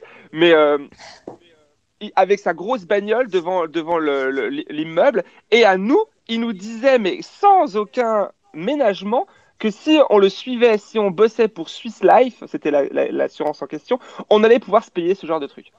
Rends compte, l'assurance, Ah oui. c'est l'assurance santé en Suisse. Donc euh, sur le, le- sur la santé, sur, euh, sur les gens, sur leur, sur leur misère, on allait pouvoir se payer ça. Quelle horreur J'ai- je, je crois que je suis parti au milieu, je me- je- je- j'ai foutu ma merde, je me suis cassé, je pouvais pas. Sauf que je, je crevais presque un peu la dalle, il fallait que je bosse, mais mais je l'ai pas fait, tu vois. Bon, euh, est arrivé ensuite le RSA, mais ça c'est toute une autre histoire. Euh, mais du coup, je crois qu'il y a, et c'est là que je voulais en venir, il y a un déséquilibre parce que tu dis pourquoi ils vont pas chercher alors que nous on va chercher. Mais nous on va chercher parce qu'on est dominé. Nous on va chercher parce qu'on connaît l'injustice. Eux ils vont pas chercher. Eux c'est Oui, ils sont pas ils sont même Oui, ils sont oui. pas camarades de libéralisme. Ils sont pas ils sont pas militants du libéralisme. Ils sont le libéralisme. Ils sont le truc. Nous on est on est euh, euh, peut-être que dans une société inverse où euh, ce serait une société libertaire, eh ben on se rendrait pas compte que c'est qu'il y a d'autres choses à penser. Enfin, j'imagine peu, mais peut-être. oui, oui. Et puis, euh, je pense qu'on peut relativiser encore plus en disant que euh, on n'a peut-être pas encore conscience de toutes les inégalités, de toutes les oppressions, parce que Ouais. on est encore euh, dans une dans une classe sociale qui n'est pas, enfin, on n'est pas SDF non plus, tu vois. Donc, euh, il y a, y a encore pire comme domination, il y a encore pire comme oppression que celle qu'on vit nous. Donc, oui, effectivement. Sans doute, sans doute, sans doute. Euh, et ça te dit qu'on écoute un peu les gens qui nous parlent parce qu'ils sont on a un peu Ouais. retard. Bah oui, oui, oui, vas-y. Allez. T'aimes bien, toi, l'expérience, là? Moi, je trouve ça cool, hein. Bah oui, c'est cool, c'est plutôt tranquille en plus. Ouais, c'est sympa. Alors, il y a, alors, je remonte un peu plus loin. Il y a, euh, ah oui, ça remonte loin quand même, hein. On va pas remonter si loin, on va aller là. Hop. Clairement, je suis d'accord avec toi en fait. Je sais pas à quoi il répondait, mais c'était à 21h26. Il est d'accord avec nous, donc c'est cool. Ne pas confondre fanatisme et stupidité. Je pense qu'on peut être très fanatique et très intelligent et j'ai l'impression qu'on est plutôt dans quelque chose de l'ordre du fanatisme avec eux. Ah, c'est intéressant. intér- c'est intéressant. Ouais, Ouais. intéressant. Vous pensez pas que tout ce qui se passe, c'est un, un, un truc à une échelle vraiment très grand Que tout ce qui est fait, c'est fait pour réduire euh, le nombre d'humains sur Terre à 500 millions d'êtres humains. Il faut savoir qu'il y a des pierres de Stone en Géorgie où il y a les dix commandements. Alors, tu vois, on parlait de complot tout à l'heure. suite? Non, On n'a pas la suite ou pas? Non? Non, D'accord. les deux messages que cette personne a envoyés, je les ai lus euh, d'affilée. Est-ce que tu veux réagir? Bah, euh, je, je sais pas. Euh, je sais pas si, s'il y a une volonté de réduire la population. euh. C'est vrai qu'il y a toujours eu euh, euh, une sorte de, de mépris envers les, les familles qui font beaucoup d'enfants. Ça, c'est un truc qui, qui date depuis, je pense, le 19e siècle, avec le malthusianisme. Mais euh, il y a toujours eu un mépris, par exemple, pour les, les populations euh, françaises euh, d'origine immigrée, comme quoi elles feraient beaucoup d'enfants. Mais euh, ça, ça, ça tombe à l'eau dès qu'on étudie un peu l'histoire, parce que justement, c'est des personnes qui ont euh, historiquement connu, enfin des, des familles qui ont historiquement connu le colonialisme. Et le colonialisme, c'est rien d'autre que mettre des enfants au monde pour, euh, pour euh, les exploiter. Enfin, tu vois, les, les, les femmes qui étaient esclaves euh, ont fait des enfants euh, qui étaient eux-mêmes euh, esclaves. Et donc, en fait, Mhm. il y avait, ces personnes-là faisaient beaucoup d'enfants. Et c'est, et peut-être aussi que c'est parce que euh, c'est des enfants qui, avec la mortalité, qui mouraient jeunes. Donc, je sais pas, il y a toujours eu un mépris par rapport à, à la, à la surpopulation, à la, à la, aux familles nombreuses, mais euh, je sais là, je sais pas si, euh, si je sais pas si cette personne-là parlait du, du Covid ou si elle parlait en général. Je pensais, qu'elle pense plutôt qu'elle parlait en général. Ouais, je pensais que, je pense plutôt ça. Euh, mais elle va pouvoir nous en dire plus si elle revient. Il y a Betty qui revient à 21h36 là. On avance un peu. L'historien, c'est Johan Chapoutot et c'est un régal oui. parce qu'il il il s'écoute pas écrire, il est très agréable à lire.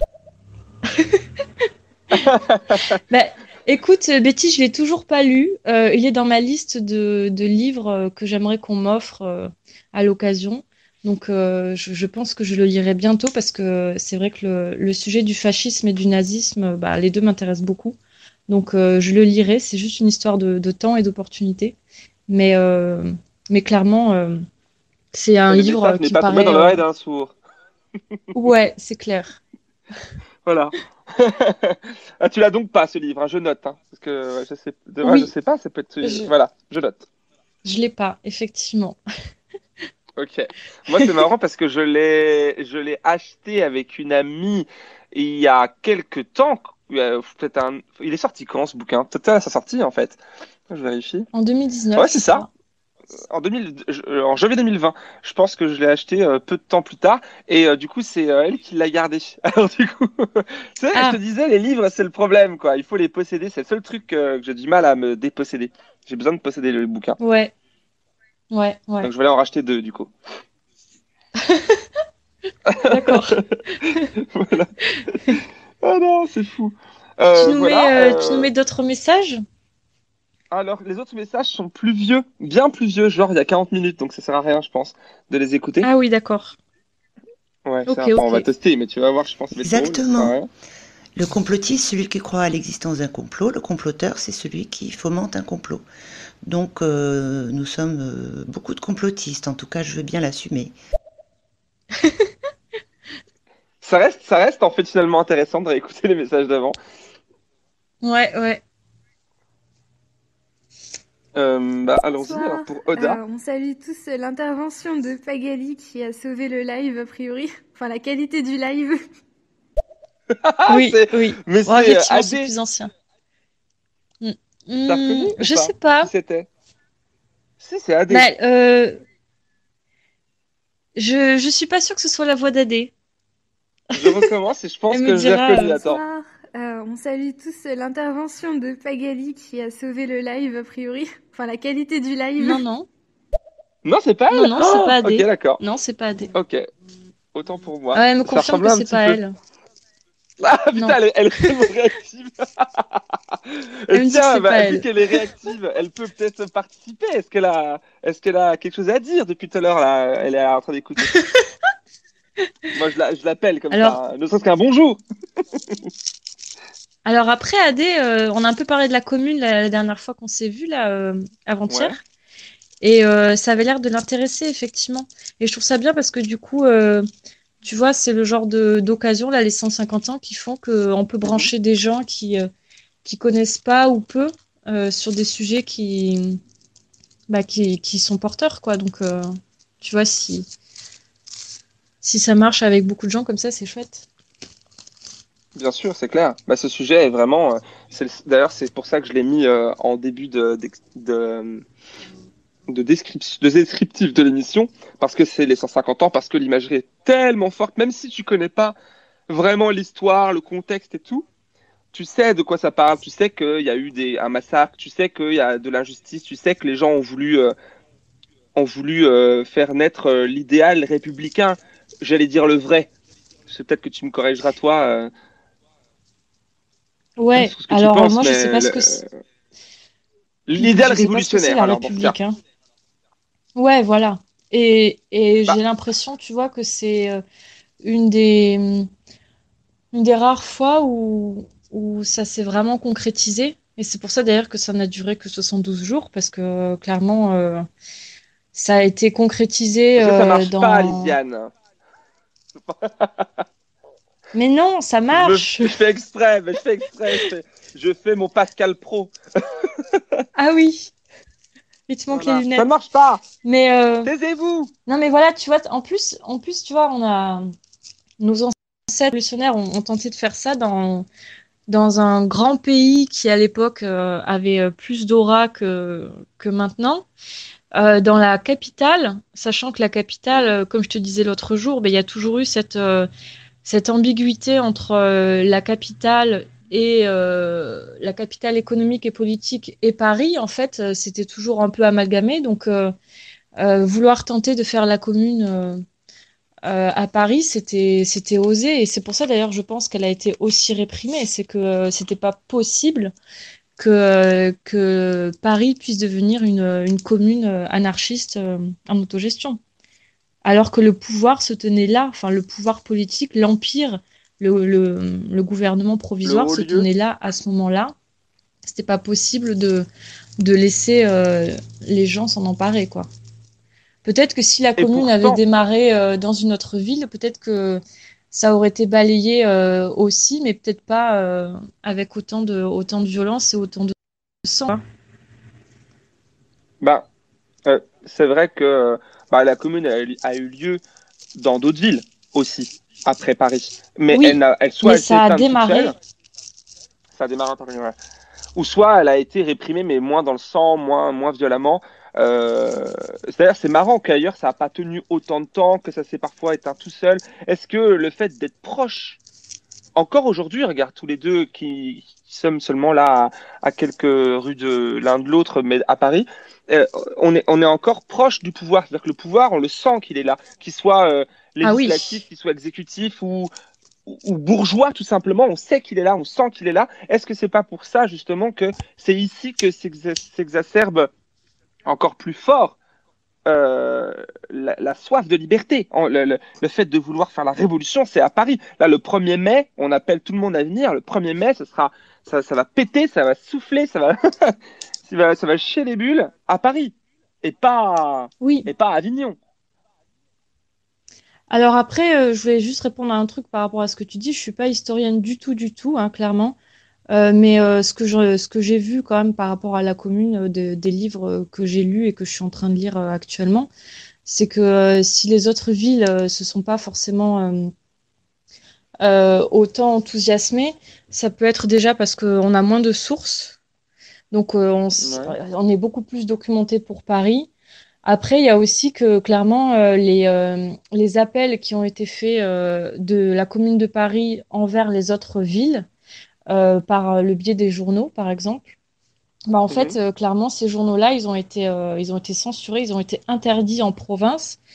Et concrètement, les, les messagers, euh, les, les, les messages qui ont été envoyés euh, dans le reste de la France, ils ont été interceptés, ils ont été coupés par, euh, par le gouvernement provisoire d'Adolphe Thiers. Donc, clairement, il y a, enfin, tu vois, on peut pas dire, on peut pas balayer comme ça et de dire, ben, la, la commune, elle l'a pas pris dans les autres villes. En fait, on, il y a déjà une- d'une part les, les, tu vois, qui seront peut-être moins étudiées, au moins il y a eu peut-être moins de traces écrites, je sais pas.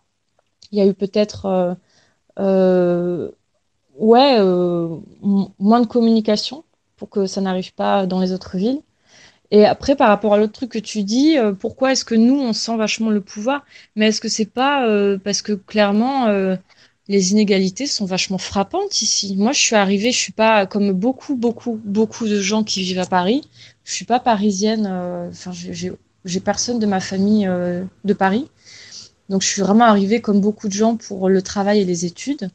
Et, euh, et ce qui m'a frappée en arrivant, c'est clairement euh, le- l'hyper-richesse. En plus, je suis arrivée euh, dans le 6e et le 7e arrondissement. Donc, euh, pour ceux qui Dans connaissent pas, c'est vraiment les, les quartiers très, très bourgeois, mais de luxe. Enfin, c'est vraiment le luxe, quoi. Et, et je suis arrivée dans ce quartier-là et, et donc tu avais clairement des, des magasins de luxe avec des chaussures à 1000, 2000, 3000 euros et des SDF qui dormaient devant les, les portes quand le magasin fermait. Clairement, ça m'a euh, ça m'a estomaqué, ça a été super violent. J'ai détesté euh, Paris pendant plusieurs années, bah, le temps que je sois dans ce quartier-là parce que parce que j'ai chopé une euh, sous-location en chambre de bonne, machin, voilà, bon, on va pas repasser sur ça. Mais bon, clairement, euh, c'était vraiment violent, quoi. Et, et je pense que c'est ça aussi, c'est que moi, je, je vois pas comment j'aurais pas pu me politiser plus en arrivant à Paris, surtout en arrivant dans ces quartiers-là. Enfin, je veux dire, ça te, ça te frappe à la, à la gueule, quoi, clairement. C'est marrant euh, que tu. Euh, euh, j'avais jamais vraiment. Moi, je connais un peu ton histoire et tout ça, mais j'avais jamais fait le lien. Mais, mais moi aussi, en arrivant à Paris, je suis arrivé dans les beaux quartiers. C'est drôle. Avant de m'enfuir. Ah bon, t'es Ah, arrivé le où? 15e, Vaugirard, si tu veux. Ah oui, tu parles, tu parles de, de, de mois, du mois de janvier. Oui.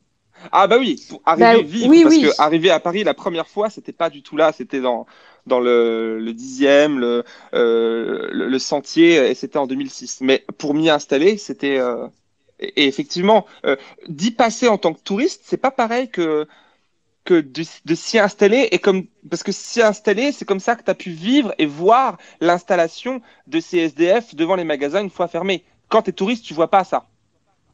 Non. Non, non. Et c'était horrible. Ah C'était bah oui, vraiment horrible. clairement.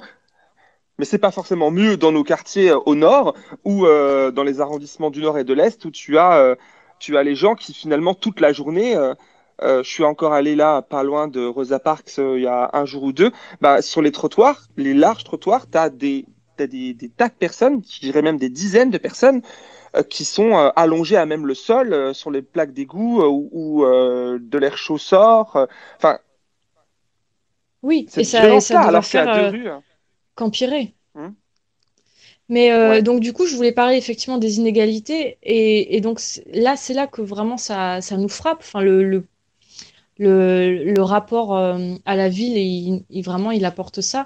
Mais ouais, c'est vrai que comme tu dis, euh, le pouvoir, on le sent. Enfin, clairement, t'as, là où j'habitais, je suis arrivée à Paris il y a 10 ans, c'était clairement ça. C'était euh, euh, dans, dans la rue où j'habitais, il y avait euh, 4-5 ministères, il y avait euh, 2-3 ambassades. Enfin, c'était vraiment... euh, euh, ah, le pouvoir était là, quoi. Le pouvoir était là et, et on le voit euh, à chaque manif. On, on- quand on tente d'aller vers euh, l'ouest, eh ben, Ouais, on vers peut pas, ou alors le- la préfecture de police nous autorise pas. Enfin, où on est réprimé. Enfin, euh, donc, le- et c'est d'ailleurs euh, aussi ce qui, Ce qui fait que, au-delà des, aspects professionnels et personnels, qui fait que j'ai aussi envie de rester, c'est que bah, le pouvoir, il est là, en fait. Donc, si on veut, à un moment donné, euh, le démanteler, bah, j'ai envie d'être sur place.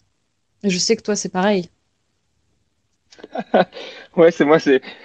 Est-ce que je sais pas si toi c'était ton bah je pense pas il y a 10 ans c'était pas euh, la raison de ta venue tu l'as dit c'était c'était euh, tes études et puis euh, comme des millions d'autres personnes euh, qui sont arrivées à Paris enfin des millions des centaines de milliers peut-être plutôt. Moi ouais tu sais que ma venue euh, c'est euh, c'est clairement motivé par ça. Clairement que euh, le pouvoir il est là. Et en fait en gros j'ai répondu à l'appel de, de, de Macron quoi. Venez me chercher. Bon bah, moi je suis venu. Ben voilà. Et aussi, ça faisait chier les TGV, voilà. Mais n'empêche que, euh, que voilà, euh, que le pouvoir est là. D'ailleurs, c'était, c'était assez euh, illustré dans le quotidien quand je vivais dans, dans le 15e arrondissement, tu te souviens, et que je venais te voir chez toi à l'opposé de la ville. Je passais en scooter sous les fenêtres de chez Bribri et de chez euh, Manu. Eh ben oui. Je, Bah oui, je- longeais littéralement l'Élysée, quoi. Qui, d'ailleurs, qu'on peut plus passer devant maintenant depuis quelques, depuis pas longtemps. Durant son, son mandat à lui, ils ont fermé la rue devant de manière euh, euh, définitive. Euh, mais euh, du coup, euh, ça fait un petit détour. Mais je, je passe devant euh, sans le vouloir. C'était à chaque fois que je faisais, je venais chez toi, je passais devant. Donc le pouvoir, tu le sens, et tu le sens aussi par la présence policière qui est exacerbée à Paris, en fait, à la moindre, euh, même sans forcément de Ouais. raison, quoi. Ouais, ouais, ouais. Mais pareil, euh, tu vois, les, les attentats aussi, bah, on en a eu quelques-uns à Paris. Enfin, on sent euh, il y a une attraction. Et puis, tu vois, les, les gilets jaunes, c'est marrant, tu vois, tous ces, tous ces appels à, à monter à Paris. Enfin, moi, si j'habitais ailleurs, j'aurais plutôt euh, envie de, de, de faire, euh, de participer dans ma propre ville, mais pas d'aller à Paris. Enfin, je, je loue la le sacrifice des, des gens qui vont prendre leur week-end entier pour euh, monter sur Paris, pour euh, prendre une voiture, pour prendre un train, Pour payer, pour venir, pour être là sur Paris. Mais Mais ouais, oui, c'était mais ouais, moi je trouve ça fou. Oui, parce qu'ils ont conscience. Et puis d'ailleurs, je me souviens quand je documentais les premiers rassemblements Gilets jaunes à Paris, même pendant plusieurs mois, je rencontrais des gens qui, qui, dont c'était la première fois qu'ils montaient à la capitale et, que, et qui connaissaient absolument rien. Et c'est pour ça qu'ils se faisaient choper, parce que ça se voyait qu'ils n'étaient pas d'ici, ils n'avaient pas les codes, ils, étaient, ils regardaient leur, euh, ça faisait Obama touriste, mais comme on était samedi, qu'ils étaient avec euh, et qu'ils étaient habillés pas comme un touriste euh, qui, qui visite le 7e ou les champs, tu vois. Et ben du coup, ça se voyait qu'ils étaient euh, qu'ils étaient manifestants. Et pourtant, malgré Ouais. leur méconnaissance de la ville, ils savaient que le pouvoir était là et qu'il fallait être là, tu vois. Ouais. Mais après, euh, je sais pas si c'est rassurant, mais, euh, mais moi, le, le 8 ans, le, le 16e, enfin tous les trucs qu'on a fait pendant les Gilets jaunes, je connaissais pas non plus, hein. Clairement, je, je vais jamais dans ces endroits-là, hein. Enfin, euh, j'ai découvert, j'ai fait du tourisme de manif euh, avec les Gilets jaunes dans ces endroits-là, parce que toutes les manifs qu'il y avait avant, euh, on faisait, euh, enfin, on a toujours fait euh, République, Nation, Bastille, à la limite Stalingrad, mais tu vois, vraiment vers l'Est. Et, euh, et c'est vrai qu'avec les Gilets jaunes, ça a été pour moi un des trucs assez fous, tu vois, c'est c'est que il n'y avait pas de de limite intériorisée. C'était bah non, nous on va on va vers le pouvoir, on va clairement aller dans ces quartiers-là. Et euh, et pour moi, ils sont complètement euh, fous, tu vois, parce qu'ils ils, ils- peut-être qu'ils savaient pas que que que ça pouvait être vraiment dangereux, mais c'est vraiment là que qu'on se fait le plus réprimer, tu vois. Alors que tous les, les manifestants euh, habituels, on va dire, d'avant, bah, euh, se sont contentés des, des parcours habituels à, à l'Est, c'est-à-dire dans des quartiers un peu plus euh, conquis, tu vois, des quartiers, nation, euh, euh, des quartiers ouais, prolo, voilà. prolo, quoi. Ouais. enfin, prolo avec des guillemets quand même, parce que, euh, Oui, historiquement, je dirais, mais, mais du coup, Bobo et du coup, les gens qui y habitent, ils tolèrent un peu. euh, voilà, ils sont Ils plus peu, euh, favorables à, aux idées de gauche, ça c'est clair, et aux idées révolutionnaires, ça c'est clair. Mais, je euh, moi aussi, j'ai, clairement, euh, j'ai clairement visité euh, euh, l'Arc de Triomphe et, ses, et ses- son quartier euh, à ce moment-là, parce que sinon j'y vais jamais. hein. Je, je vais jamais dans ces endroits-là. Je l'ai fait a- comme a- tous les touristes euh, une fois, mais voilà. Bah oui, oui. D'ailleurs, on y va, on va pas. L'image du, euh, on a tous la vue sur la Tour Eiffel et qu'on va faire nos courses aux Champs-Élysées, c'est, c'est, Il y a que les Chinois qui y croient. Il y a, il y a Mich Ben qui, réagit. Oh, mais Paris, c'est le cœur euh, de. C'est la capitale, en fait. C'est là où il y a l'Élysée, là où il y a tout, en fait. C'est le concentré se trouve à Paris. C'est pour ça que euh, ça émane et ça suggère que les autres. euh, Ouais, bonsoir à vous. Bah oui, clairement. Ah, ça c'est. Et Ouais. c'est pour ça que la pression est d'autant plus forte. Oui, bah oui, oui, c'est pour ça que la pression, que la répression, plutôt encore une fois, est, euh, est forte. Je m'amusais à dire au, dé- au début, euh, enfin il y a, déjà quelques années, que avec mes camarades en Haute-Savoie, que, euh, parce que moi j'habitais en Haute-Savoie avant, ça, tu le sais, mais peut-être que les auditeurs le savent pas. Euh, et, du coup j'y suis toujours. D'ailleurs euh, demain je vais travailler là-bas, voilà. Et du coup je, faisais des manifs à Annecy et à Paris. Et du coup je voyais Annecy qui est une capitale, celle de la Haute-Savoie, hein, mais tu vois très bien qu'il n'y a pas d'enjeu, que qu'il n'y a pas d'enjeu, euh, que que qu'il n'y a pas de parce que euh, je m'amusais à dire pas il n'y a pas de gaz, il n'y a pas de matraque, il n'y a pas d'enjeu.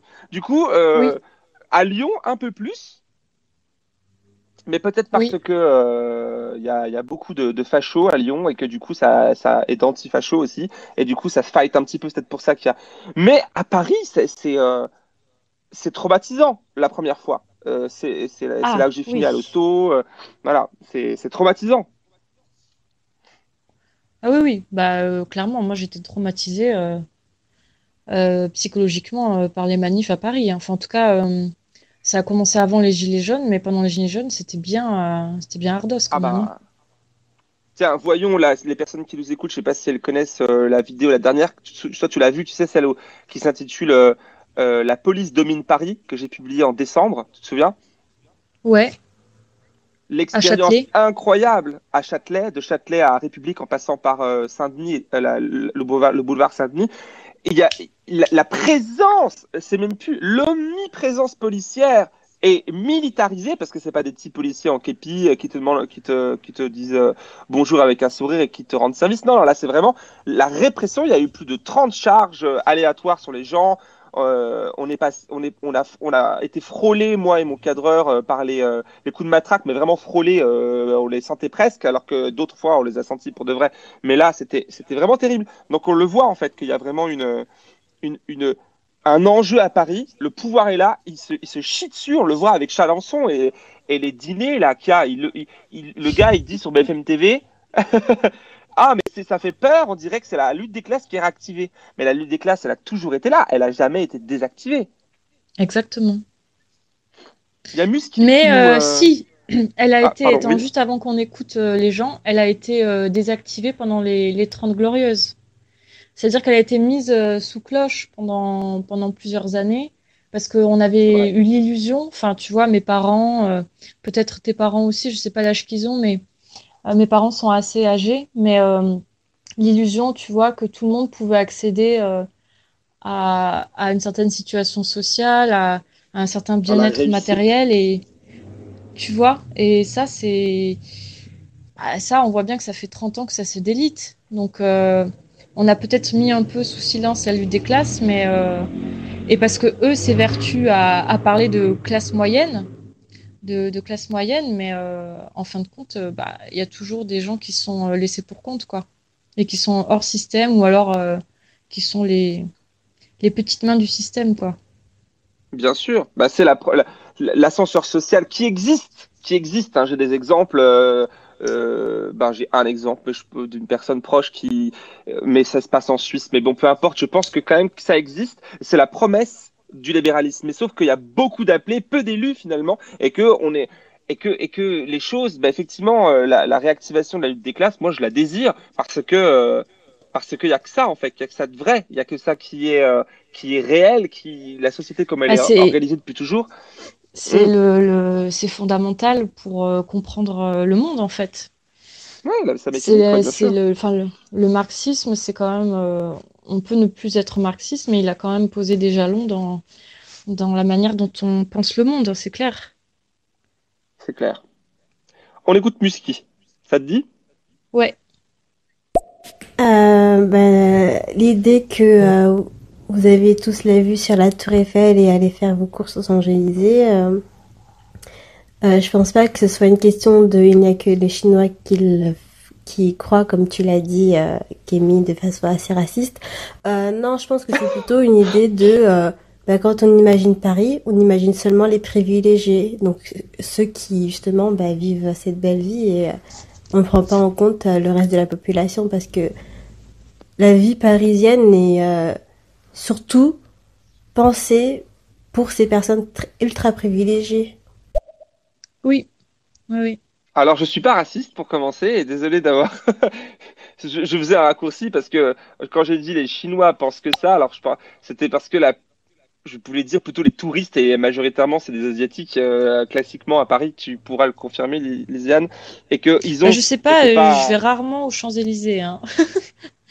Donc, Ouais, euh, tu vois quand même que dans Paris, on le sait, sans, sans aller aux Champs-Élysées, tu sais que euh, c'est eux les premières victimes d'ailleurs de cette euh, supercherie de la, de la présentation de Paris à la, à la, euh, j'allais dire Audrey Tautou. Comment c'est son film déjà, le film, euh, tu sais, où on voit Ah, Paris Amélie fantasmé. euh, Amélie Poulain, voilà. Euh, comment dire de ce film-là, euh, de ce, de ce Paris euh, fantasmé. Et effectivement, pour te rejoindre un peu, Musky, effectivement, de ce Paris fait pour les riches, par les, j'allais dire par les riches pour les riches, non, par les pauvres pour les riches. Euh, ouais, ouais, c'est sûr. Moi, je pense pas qu'il faille plus commenter que ça, mais mais oui. c'est une ville, euh, c'est une ville musée, hein, clairement. C'est, euh, tu achètes, tu Airbnb, euh, tu visites, euh, tu, enfin, on peut de moins en moins se permettre euh, d'habiter à Paris, hein. Donc, euh, oui, elle est, elle est faite pour les riches, quoi. On peut dire ça toutes les villes en fait finalement, parce que le, le- le principe de gentrification, de bourge- d'embourgeoisement, il est présent dans toutes les villes. Les centres-villes se sentent bourgeoises, euh, donc c'est pas Paris en fait. C'est Londres, c'est pareil, même Lyon, Lille, c'est pareil. Oui, mais euh, on atteint quand même des sommets euh, à Paris, quoi. C'est vrai. Alors il y a Mm. Majra qui revient. En fait, pour revenir sur le sujet précédent, genre, euh, oui, euh, la, la stupidité des, des élites, en fait.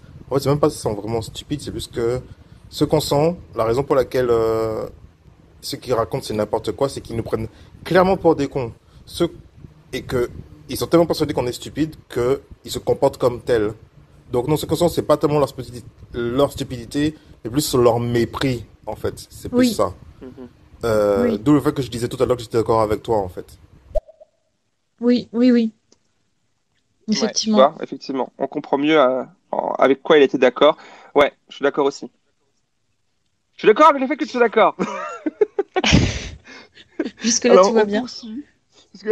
Ouais, c'est Mille. euh, bonsoir, euh, bonsoir libertaire. Désolé, hein, mon premier live, euh, j'étais, euh, j'ai j'ai balancé un peu, un peu comme ça par hasard.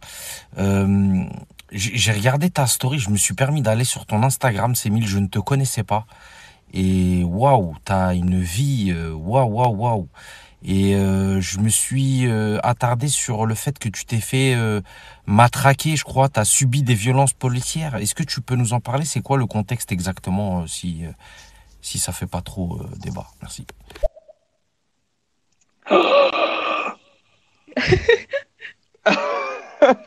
Eh bien, salut à toi. Eh bien, oui, des violences policières, on en subit tous, je crois, mais enfin tous pour beaucoup.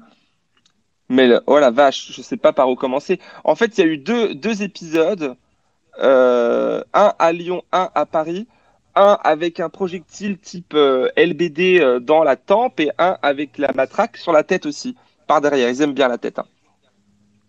Et je, je sais pas quoi en dire d'autre. Je, raconte tout ça dans une vidéo sur ma chaîne, dans deux vidéos que je mettrai. on peut pas mettre de lien là. Bon, tu iras voir. On en a beaucoup parlé avec Lis- Lisiane, on en a beaucoup parlé de ces épisodes-là ensemble, en tout cas. Il y a, plein de leçons à en tirer. Moi, ça m'a beaucoup, ça m'a traumatisé pendant longtemps. Bah oui, non, mais c'est normal, hein. Moi, j'ai été traumatisée alors que j'ai jamais reçu euh, aucun coup. Enfin, euh, je crois que j'ai déjà eu deux, euh, fois, un 1er mai, des, des palets qui sont tombés sur mon sac à dos, mais c'est tout. Enfin, vraiment, j'ai rien du tout. Mais c'est psychologique. Alors, j'ose même pas imaginer les gens qui ont été vraiment euh, directement visés, parce que je pense que tu étais visé, et les gens qui ont été euh, touchés, mais sans être visés. Donc, euh, j'ose même pas imaginer. euh, Bah, euh, déjà, moi, il m'a fallu beaucoup de courage pour retourner en manif. Alors, euh, toi, euh, Mhm. j'imagine même pas, quoi. Bah, le- la première fois vraiment où j'ai été euh, où j'ai reçu quelque chose, c'était la, la, le- la première manif des Gilets jaunes à Paris, tu sais, en, euh, début novembre, la fin novembre, début décembre. Euh, je crois que c'était le, Le 1er premier, décembre. euh, Le 1er décembre. Le 1er décembre. Oui, je sais, j'étais pas là parce que je faisais mon anniversaire. Bah, tu vois, et ben, et ben, j'étais aux Tuileries. Et d'ailleurs ce jour-là, il y a une personne qui s'est fait, euh, qui est morte, écrasée par une grille euh, à sa tête. Et, et, euh, pour le coup à côté de ça, moi j'ai rien subi du tout, mais euh, un, pro- un projectile, tu sais, dans la dans la cuisse, mais tellement fort euh, que je, je je pouvais plus euh, vraiment marcher en- après, si tu veux, c'était c'était ça faisait tellement mal, mais ça j'avais oublié. Les deux autres fois, la vraiment fois où j'ai été où j'ai été traumatisé, c'est le c'est le terme, traumatisé, c'était quand j'ai reçu ce truc à la tête où, euh, où clairement ça, la- la- le, le policier, la policière, la personne qui a visé, je sais pas, je l'ai pas vu, euh, a voulu me faire mal en fait. Vraiment, on en a fait une vidéo ensuite, on a pu avoir des images venues de, de pas mal de personnes qui euh, qui filmaient ce jour-là et comme comme je fais des vidéos sur ces trucs-là, les gens me, rec- me reconnaissaient donc on, on filmait et du coup on a pu rec- reconstituer un peu le truc et c'était terrible d'avoir revu ces images, mais pendant des semaines même des mois, j'étais mal. Mais j'ai quand même, je suis quand même retourné à- en manif trois semaines plus tard. Et je me suis refait euh, taper sur la gueule. C'était à Paris cette fois-là. Et j'ai fini à, près de chez toi, tiens, à Bichat. Ouais, à l'hôpital. Oui, ouais, ouais. Voilà. Et, et, et c'est Ouais, ouais, mais et c'est vraiment traumatisant. Mais je voulu. pense que c'était, ouais. euh, je pense que c'était délibéré, ouais. Ouais, ouais. Bah oui. Ah, Parce toute que façon, on voit s'attaquent, bien on voit. hein. Ouais, il s'attaque aux journalistes, il s'attaque aux, aux figures emblématiques. Enfin, euh, on l'a clairement vu, hein. Clairement, Statistiquement, c'était pas possible que, euh, que Jérôme Rodrigue soit visé euh, par pur hasard. Enfin, c'était pas possible, quoi. Tu vois, je fais du complot encore. Mais Bah là, c'est pas du. Ouais, c'est vrai que c'est du complot parce qu'il y a une. une complot des CRS. une, euh, Et pourtant, on les a vus, on les a entendus filmer, euh, les, euh, les CRS, les policiers, euh, et pris en photo de se moquer de Jérôme Rodriguez avec un œil en moins, en mettant la main devant, Oui. en lui disant t'approches pas, Oui. on va te retirer le deuxième. On a, on a honte, donc c'est pas du complot, mais n'empêche que dans la définition, ça l'est, puisqu'il y a une, une version communément admise par nos dominants de dire que ce sont des accidents, voire que ça n'existe pas. Les gens qui perdent des mains, des doigts, des yeux, et puis par chance d'autres qui n'ont que des traumatismes crâniens. Je suis dans ce cas-là, moi. Euh, Ouais. et, et ben, et, et tout ça, du, du coup, ouais, c'est du, tu es une complotiste, tu vois, je te l'ai dit. Ouais, ouais, ouais. Ben oui, tout à fait. J'avoue. Bien dit, Musky. Je te rejoins totalement sur ton raisonnement. Merci. Ah, c'est cool, il y a des gens qui papotent. Ouais. Alors, on continue. Hein.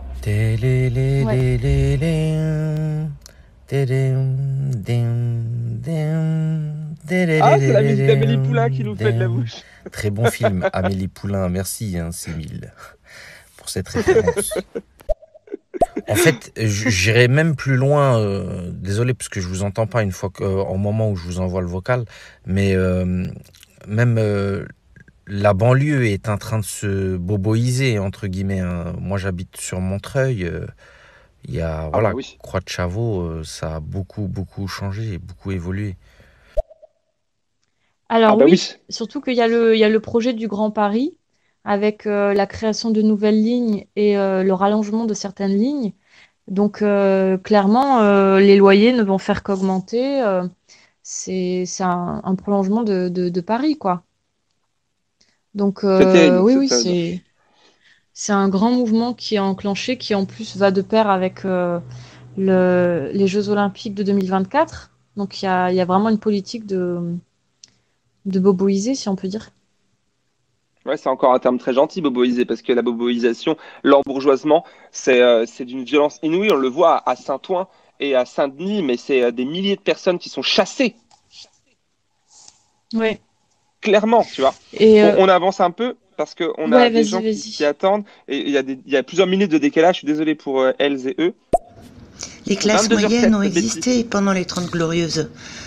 Euh, simplement, euh, maintenant, les classes moyennes, euh, ça ne veut plus rien dire, c'est devenu une illusion. En même temps, qu'est-ce qu'il y a Qu'est-ce qu'on a maintenant? On a des classes moyennes à plus de 4000 balles, comme dit Bayrou. Euh, je pense pas qu'on puisse encore euh, parler de classe moyenne dans le contexte économique actuel pour des gens qui gagnent plus de 4000 euros par mois. Et il y a, il y a tous les autres, le reste de la classe moyenne en dessous, et, qui est en, en voie de paupérisation complète. Euh, mais qui refuse, qui refuse de le voir et qui, qui se met la tête dans le sable. Et c'est vraiment un facteur de, de, de stagnation euh, dans, dans, dans l'évolution de notre société, en tout cas en France. quoi. Oui. Moi, Alors, je parle par de classe laborieuse, moi. Ouais, ouais, c'est pas mal. Parce que c'est vrai que les Trente Glorieuses, en fait, il y avait l'illusion qu'on pouvait accéder à plus. Mais effectivement, Ouais. il y a toujours eu des, des plus pauvres et des plus, et des plus aisés, hein, c'est, clair. Mais, euh, mais là, le, en fait, le, le, ce rêve-là, il, il est tombé. Enfin, l'illusion, elle est tombée, quoi. Enfin, elle tombe de plus en plus. Donc, euh, Bah donc oui, euh, on oui, a vu que ça marchait Moi, j'aime bien, Mais J'aime bien ton idée de classe laborieuse, c'est ça, ouais. Ouais. Mais on peut dire prolétaire, hein, parce que prolétaire, certes, à- au 19e siècle, c'était euh, les gens qui travaillaient avec leurs mains, qui étaient très manuels, mais euh, on pourrait parler des, des, des intellos précaires. Moi, j'en fais, j'en fais clairement partie. Euh, les, euh, les gens qui travaillent Bah pas ouais. forcément avec leur, euh, leurs mains, mais qui travaillent avec leur, leur cerveau et qui sont. euh, moi, je suis auto-entrepreneuse. Enfin, c'est pas ma seule activité, mais c'est une de mes activités. Et, et du coup, j'ai longtemps vécu avec, avec euh, juste ça comme, euh, comme revenu. Et euh, ça va, c'était pas trop compliqué parce que, parce que, parce qu'on est deux, donc on pouvait euh, arriver à, à s'en sortir, quoi. Mais, euh, mais euh, oui, pour moi, le prolétariat, c'est pas, ou la classe laborieuse, c'est pas que des, c'est pas que les métiers ouvriers, c'est vraiment tous ces petits métiers, Bah, faut bah, tu vois, redéfinir. les. faut Ouais, voilà, redéfinir ce faut que ça veut redéfinir. dire ouvrier. Moi, je me, je me considère comme un artisan, donc comme un. Alors, je, je connais pas la, la définition précise d'ouvrier, mais je pense que c'est les gens qui œuvrent. Non, je sais pas. Attends, faut voir. Ouvrier. Définition. Personne qui exécute un travail manuel, bon, ok, qui exerce un métier manuel mécanique moyennant un salaire, spécialement travailleur manuel de la grande industrie. Alors, peut-être qu'il faut réactualiser ce que ça veut dire aujourd'hui ouvrier, le monde ouvrier. Tout du moins, c'est pour ça que je préfère encore les, les laborieux, parce que franchement, euh, le travail à partir de quelques heures par jour, bah, c'est du- c'est plus du travail, c'est du labeur, quoi. Et, euh, et ça profite pas à ceux qui le pratiquent. Sinon, ça ferait longtemps qu'on serait millionnaire, apparemment, vu que c'est l'objectif. Et toi, la première avant moi, avec tes, euh, tes euh, 70 heures de travail par semaine, même si je veux pas être loin derrière. Et, euh, Ouais, non, et moi, que, je suis à ouais, il y a, il y a 50. peut-être un 50, mais t'as, t'as déjà cumulé à 70, hein, je, je sais, je sais. Mon maximum, c'est 66, oui, par semaine. Ouais, bon.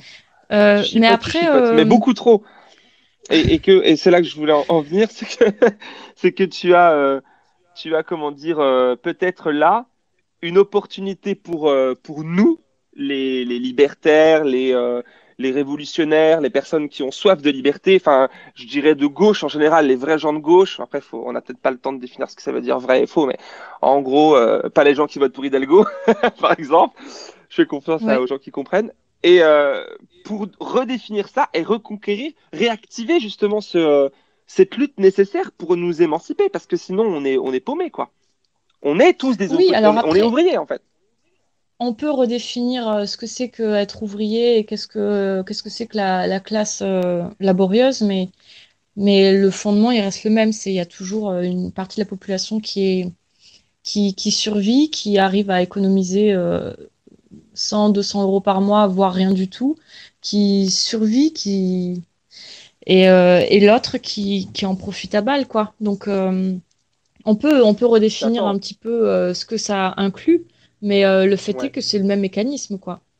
Ça ça n'a pas changé en plusieurs siècles. Non, ça n'a pas changé. Puis encore, tu, tu, tu mets d'un côté les gens qui se gavent et les gens et de l'autre les gens qui peuvent mettre 50, 100 euros de côté par mois. Mais déjà ceux-là, là, euh, moi, j'en fais pas partie, hein, des gens qui peuvent mettre de, de- des 100 euros de côté par mois. Enfin, ça pourrait paraître un peu dingue. Et je suis pas le, je suis pas, mais, mais euh, pendant une grande partie, majeure partie de ma vie d'ailleurs, et puis sans vouloir parler de moi, parlons des 10 millions de personnes en France qui sont, qui vivent avec moins de 1000 balles par mois. Eux, ils peuvent pas mettre un euro de côté. Et ils, Non. ils forment une masse incroyable de gens. Oui, après, il faut distinguer aussi euh, les revenus, tu vois, les revenus euh, financiers euh, des, des, euh, de- du reste. Tu vois, par exemple, euh, Juan Branco, il explique qu'il gagne très peu, Mais euh, Oui. par ailleurs, il a quand même euh, un capital familial. Il a un logement familial qui fait qu'il n'a pas besoin d'avoir un loyer parce qu'il a un logement familial. Enfin, tu vois, c'est pas que les revenus.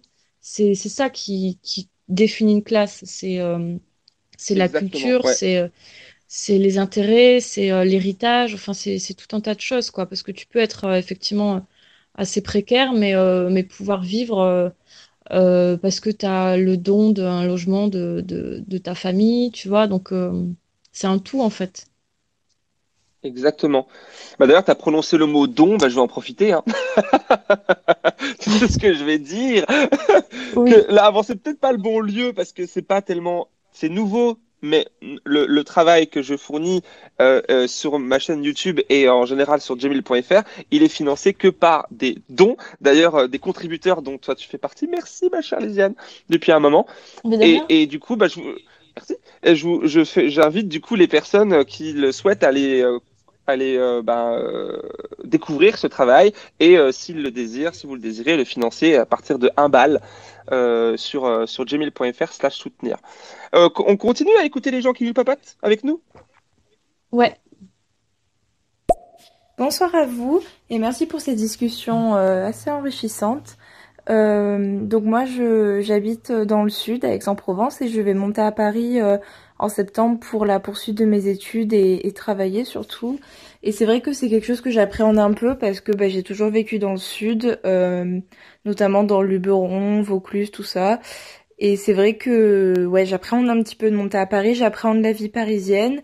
Euh, j'aime Paris, je suis allée beaucoup de fois à Paris, euh, mais bon, en, touriste, comme vous le dites. Et c'est vrai que voilà, j'appréhende un petit peu ce départ pour moi. Et j'aimerais savoir si euh, bah, vous avez quelques conseils voilà, pour arriver à s'acclimater, des, des endroits où aller, euh, des choses à conseiller euh, pour quelqu'un comme moi qui va découvrir la vie parisienne. Alors, moi, ça me fait directement. euh, Oui, ça me fait vraiment rire à mon propre parcours dans le sens où, euh, quand je suis allée vivre à Paris, du coup, pour euh, mes études et donc pour mon boulot, parce que l'édition, c'est quand même euh, essentiellement à Paris. Ou sinon, il y a, il existe l'édition régionaliste, mais euh, ça m'intéressait pas trop.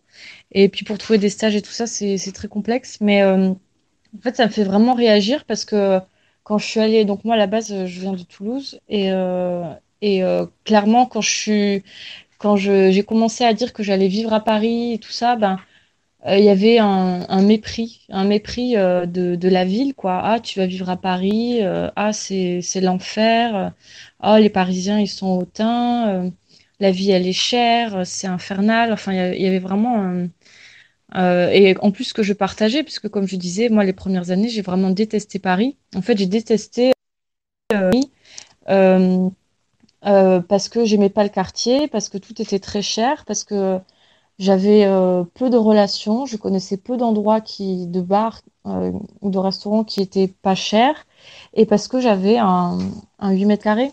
Et en fait, euh, tout ça, ça s'est débloqué au bout de deux ans. Donc, je sais pas si c'est un message d'espoir ou, ou d'horreur pour la personne qui vient d'intervenir, mais ça s'est débloqué quand j'ai commencé à avoir un 16 mètres carrés, que j'ai commencé à avoir plus d'amis et à, et à repérer les bars qui faisaient des pintes euh, à moins de 5 euros, quoi. Donc, il a fallu du temps. Je me moque de Il a fallu du-.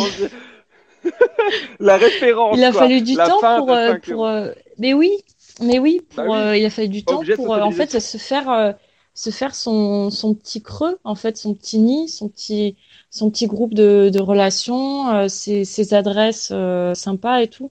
Il a fallu du temps pour ça et puis simplement être bien chez soi. Et, euh, et en dessous de 16 mètres carrés, c'est vraiment compliqué d'être bien chez soi. Et, euh, et euh, clairement, il a fallu, euh, il a fallu que je trouve euh, un appart un peu plus grand et pour euh, pas beaucoup trop cher pour euh, me sentir bien à Paris, quoi. Mais sinon, euh, c'est vraiment, euh, c'est vraiment difficile. Et là, euh, pour rebondir sur ce que vient de dire la personne, euh, le contexte, là, il est encore plus, euh, encore plus euh, difficile, quoi, parce que en termes de relations, en termes de, de mobilité, de liberté, justement, c'est un peu le thème de l'émission, mais de liberté de mouvement, euh, waouh, quoi, il faut, faut s'accrocher, quoi. Puis en termes de d'ambiance, en fait, c'est que euh, il y a une certaine tension, tu vois, donc euh, c'est pas évident. Mais, euh, mais après, euh, j'ose croire que, enfin, j'ai, j'ai aussi vécu dans d'autres villes que Paris, et j'ose croire que les débuts sont toujours un peu difficiles, tu vois. Euh, ils le sont moins quand on est euh, étudiant et étudiante, parce que là, il y a forcément euh, toute une classe ou une promotion avec laquelle on peut euh, faire des trucs. Mais euh, c'est plus difficile de s'intégrer quand on est déjà, euh, entre guillemets, à l'âge adulte et qu'on cherche du boulot. Mais euh, c'est plus facile quand on est étudiant et étudiante. Donc euh, déjà, ça c'est plutôt cool si tu arrives en septembre pour ça. Mais, mais ouais, c'est quand même pas évident. c'est pas évident, quoi. Et, elle nous demandait des tips. Bon, bah, tu, pour le coup, toi, t'es arrivé de, de Toulouse à Paris il y a 10 ans. Moi, je suis arrivé aussi d'un peu plus du sud, près de Genève, il y a deux mois pour m'installer. Après, après, on toi, tu connaissais sans doute très bien Paris. Moi, je connaissais très, très bien Paris déjà avant de venir, depuis plusieurs années. Et, euh, et du coup, euh, les tips, ben, ça va être compliqué. Peut-être que si t'es là, euh, Kathleen, en nous écoutant parler de politique, peut-être qu'une des choses concrètes à faire pour pas te sentir seule ici, euh, parce qu'il n'y a pas de bar, pas de resto pour te faire des potes, eh ben, c'est de te rapprocher euh, des manifs et d'autres euh, moments euh, de communion politique, je dirais, pour te faire euh, des, un réseau, enfin essayer de, de rencontrer des gens et, euh, et- Enfin, je sais pas si tu vois, toi, Lisiane, ce que je veux dire, mais en Alors, gros, euh, moi, ma, so- ben, ma sociabilisation, trop c'est ça. Les, manifs. Pour moi, c'est pas tellement euh, la socialisation. euh, la première, Ah tu vois, c'est pour retrouver des gens. C'est pour retrouver des gens que tu connais.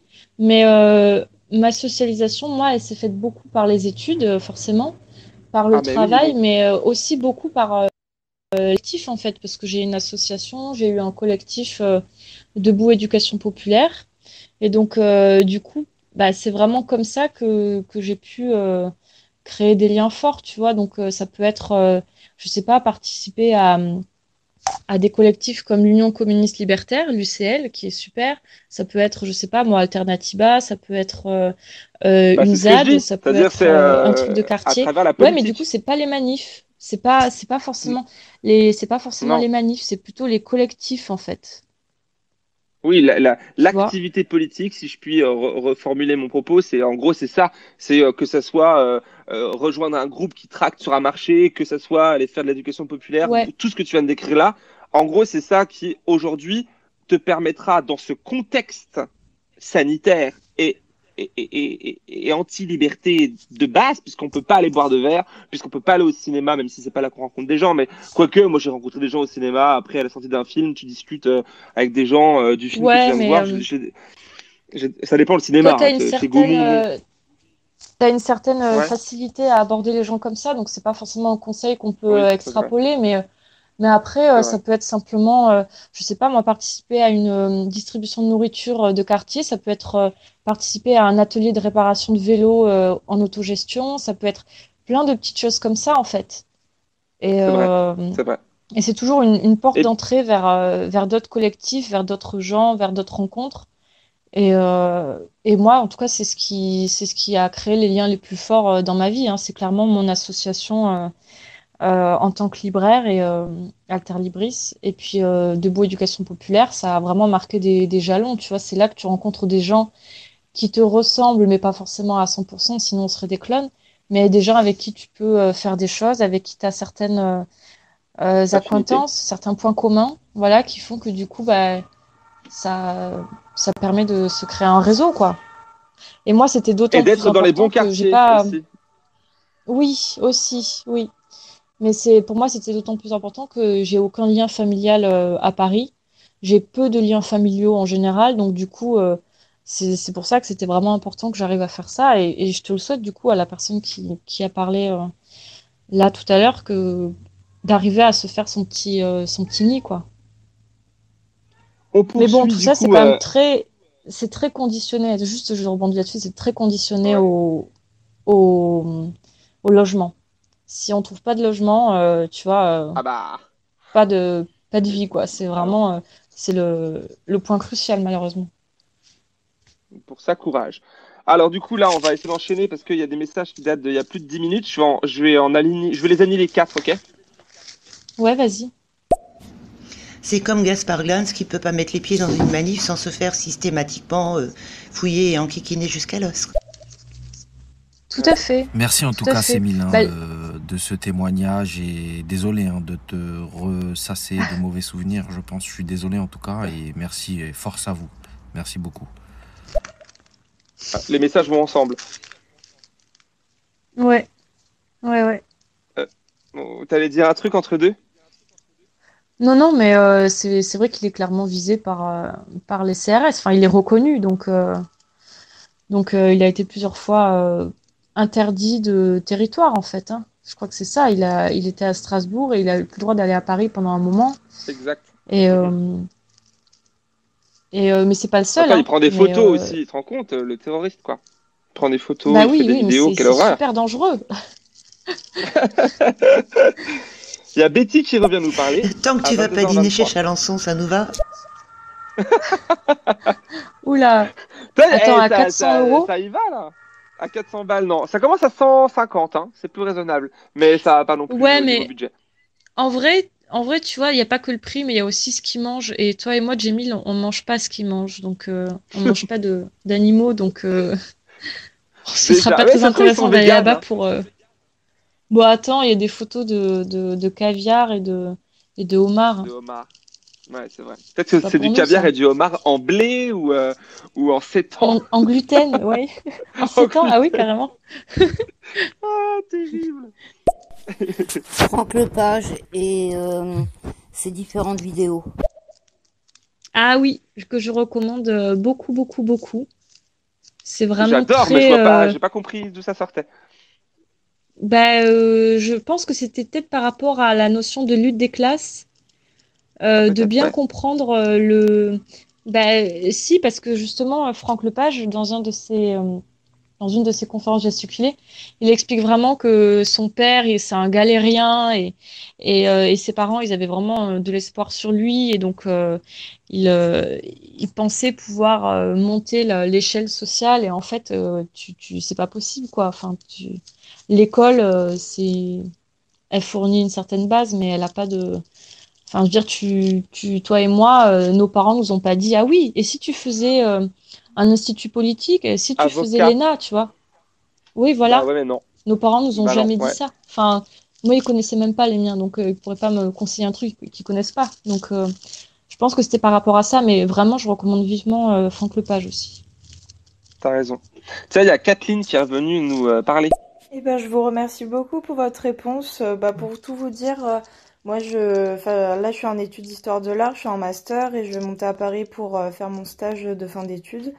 Et euh, donc, du coup, je suis assez proche de la culture et c'est vrai que le milieu associatif euh, pourrait être super intéressant pour moi, je pense.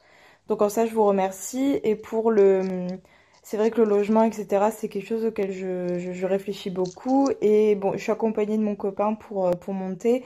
Et on aimerait se rapprocher d'endroits comme Montreuil, par exemple. On aime beaucoup. Donc, donc voilà, c'est vrai que dans ce genre d'endroit, je pense qu'on pourrait se sentir un peu mieux euh, plutôt que effectivement dans les beaux quartiers, comme tu l'expliquais. euh, plutôt euh, bah, la jeune fille qui parle, je sais plus ton prénom, excuse-moi. Et euh, donc bon, voilà, c'est vrai que je vais m'enseigner sur le milieu associatif, euh, culturel en, en tout cas, parce que c'est mon domaine. euh, et voilà, donc bah, je vous remercie beaucoup.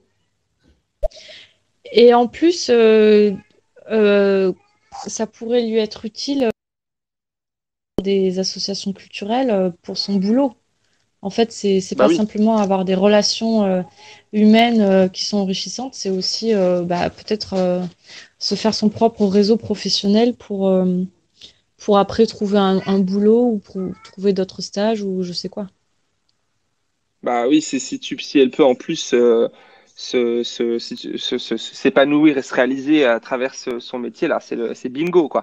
Donc euh, ouais, on l'encourage. Et puis Montreuil, bon, ma foi, une fille qui étudie l'histoire de l'art avec son copain qui débarque à Montreuil, tiens, c'est un petit peu le le, le, le principe d'embourgeoisement du quartier, sans le vouloir, finalement. Et parce Bah que, oui, parce que on n'y Montreuil, c'est encore un peu moins cher, mais pas beaucoup moins cher. Et que c'est vrai que c'est très, euh, c'est très euh, culturel. Bah oui, bah oui, on le voit, euh, on le voit, et, et finalement, même, euh, même euh, comment dire, euh, des simples personnes qui sont juste smicards ou un peu plus, parce que je pense que là, ça, je, je l'espère pour elle que ce sera quand même plus, qui arrivent du coup en banlieue proche, participent à ce phénomène-là sans le vouloir, tu vois. C'est, mais c'est intéressant en fait, parce Oui. que c'est pas quelque chose à, à, à rejeter en bloc en fait. Il y a quelque chose qui, euh, qu'il faut analyser. C'est plus compliqué que ça en fait, c'est plus complexe que ça, ce phénomène. Ouais, mais euh, c'est parce que, en fait, euh, pour moi, le, le seul. euh, Enfin, on est tous dépendants de, de, de notre euh, loyer. Donc, euh, en fait, on n'a pas Bah le ouais. choix. On va là où c'est moins cher. Et là où c'est moins cher, c'est les banlieues. Donc, du coup, euh, ça fait augmenter les prix. Enfin, tu vois, c'est un cercle. euh, Enfin, c'est mécanique. C'est purement mécanique. Clairement. Il y a Jardine qui nous parle de Les nouveau. conférences gesticulées de Franck Lepage. Oui, Oui, voilà, effectivement, c'est il ça. confirme que c'était ça. Ouais. Exactement. Eh bien, Lisiane, on arrive au bout de notre, euh, de notre, de notre émission. C'était sympa. Oui, alors c'est marrant parce que finalement, on n'a pas tellement parlé du Covid. Mais euh, en fin de compte, on en parle tellement déjà euh, partout ailleurs que je sais pas si c'est très grave.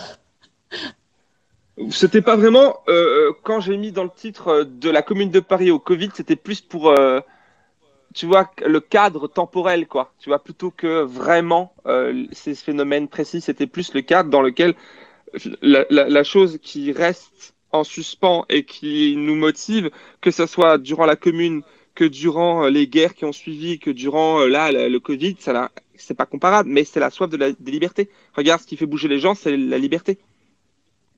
Oui, ben d'ailleurs, c'est marrant parce que euh, il y avait une manif, euh, je sais plus laquelle c'était, je crois que c'était en novembre pour les, euh, la, la loi sécurité globale. Et, euh, Ouais. et d'habitude, on entend toujours révolution, révolution, enfin toujours depuis quelques années. Et là, cette manif, j'ai entendu liberté, liberté, Liberté. liberté. Et tu sens que ça pèse, en fait. Parce que ça a pris le pas sur le slogan, entre guillemets, habituel, quoi. Exact. Et c'est que c'est bien, ça illustre bien notre soif de liberté à tous les niveaux. Et, et puis même, presque pour finir, je, je pourrais parler d'une amie qui vit, qui est suisse et qui vit en Suisse et qui du coup n'est pas française. Ouh Quelle déduction. Et, mais au-delà de ça, n'a pas cette culture de la manif, de la grève, euh, de, de, de la lutte sociale. Les Suisses, c'est pas ça.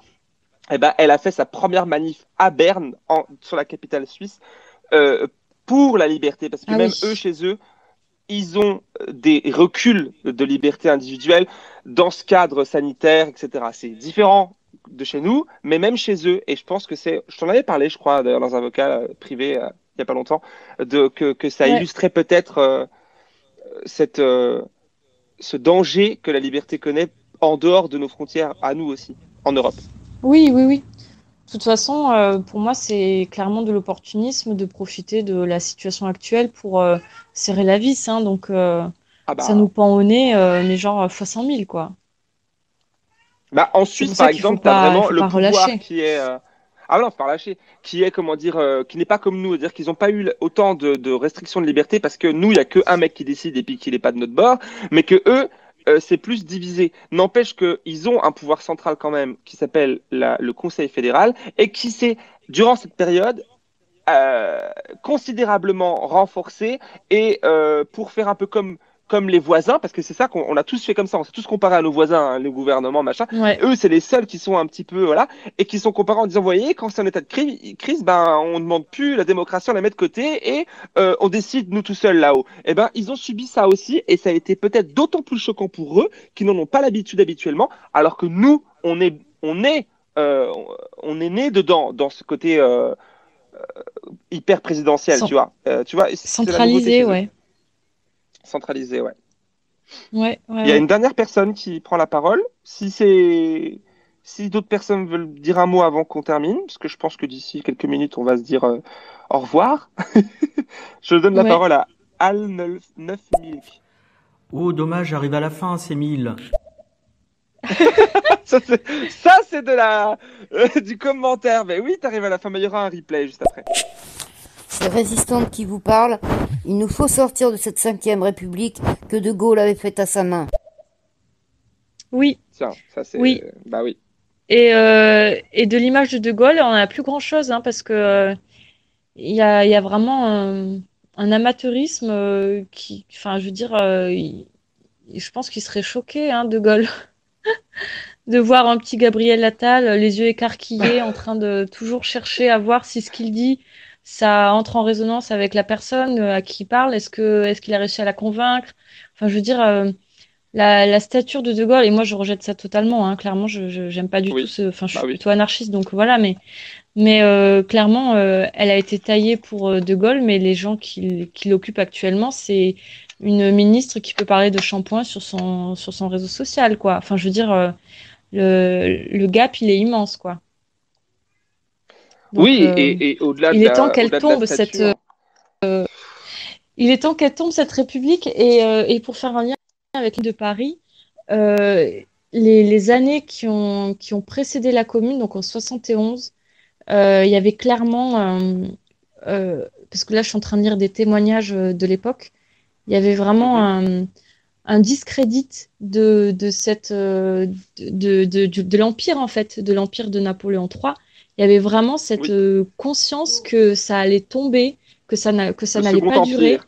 Et là, ouais, et là, clairement, j'ai l'impression qu'on est là-dedans aussi, de, de commencer à railler Macron sur les réseaux sociaux, à se moquer de lui, genre euh, Macron tout-puissant. Enfin, quand on dit Jupiter, tout ça, il y a, il y a de plus en plus de second degré, de, tu vois, et, et j'ai l'impression qu'on arrive à ce, rejet, à ce même de- stade des années, euh, des années 1868, 1869, où, euh, où on dit, mais en fait, euh, non, ça, ça, ça va pas durer. C'est, là, c'est la fin. C'est la fin. Et euh, je trouve que c'est assez, euh, c'est assez jouissif de voir que, bah, il y a, je retrouve euh, ce- cette manière-là de, de, de, de mettre de la distance avec, euh, avec le pouvoir et de dire non, mais ça, ça va pas tenir là, ça va pas tenir. C'est une, une histoire de temps, mais ça va pas tenir, quoi. Donc à voir ce que ça va Bah, donner, y a- que ne se reproduit jamais vraiment, mais euh, Ah, Il y a un côté cyclique quand Mais il y a même. un sentiment. Ça se... Ouais, il y a un sentiment. Euh, euh, après, moi, je me réjouis comme toi aussi de de cette euh, de ce fumet, si je puis dire, révolutionnaire, de, de ce dégagisme. euh, je sais Ouais. pas quel terme utiliser encore, mais de ce rejet légitime. D'ailleurs, dans ma vidéo qui sort demain soir, on en parle de ça. Enfin, j'en parle du coup parce que c'est moi qui fais la vidéo tout seul. mais en gros, on va on va en parler euh, dans la vidéo de demain soir. Euh, de ça, c'est-à-dire du fait que on, on il n'y a plus de justification à maintenir ce pouvoir-là. Les ficelles sont de plus sont des cordes, ça. on voit les choses. Et Ouais. mais c'est pas un eh, mais mais moi j'ai un peu peur quand même, si je si je peux dire que j'ai peur, que on reproduise parce que y a, y a très la probabilité à ce que que ce que ce que ce que ces injustices tombent avec ce pouvoir et que derrière, bim, on tombe dans un, dans une, dans un régime euh, communaliste, euh, équilibré, euh, environnementaliste, tout ce que tu veux, est quand même bien faible. Hein. Les, les bourgeois, ils sont bourgeois et, et ils vont pas devenir euh, acteurs de la société au même niveau que nous demain, euh, main dans la main. Ça va pas se faire comme ça.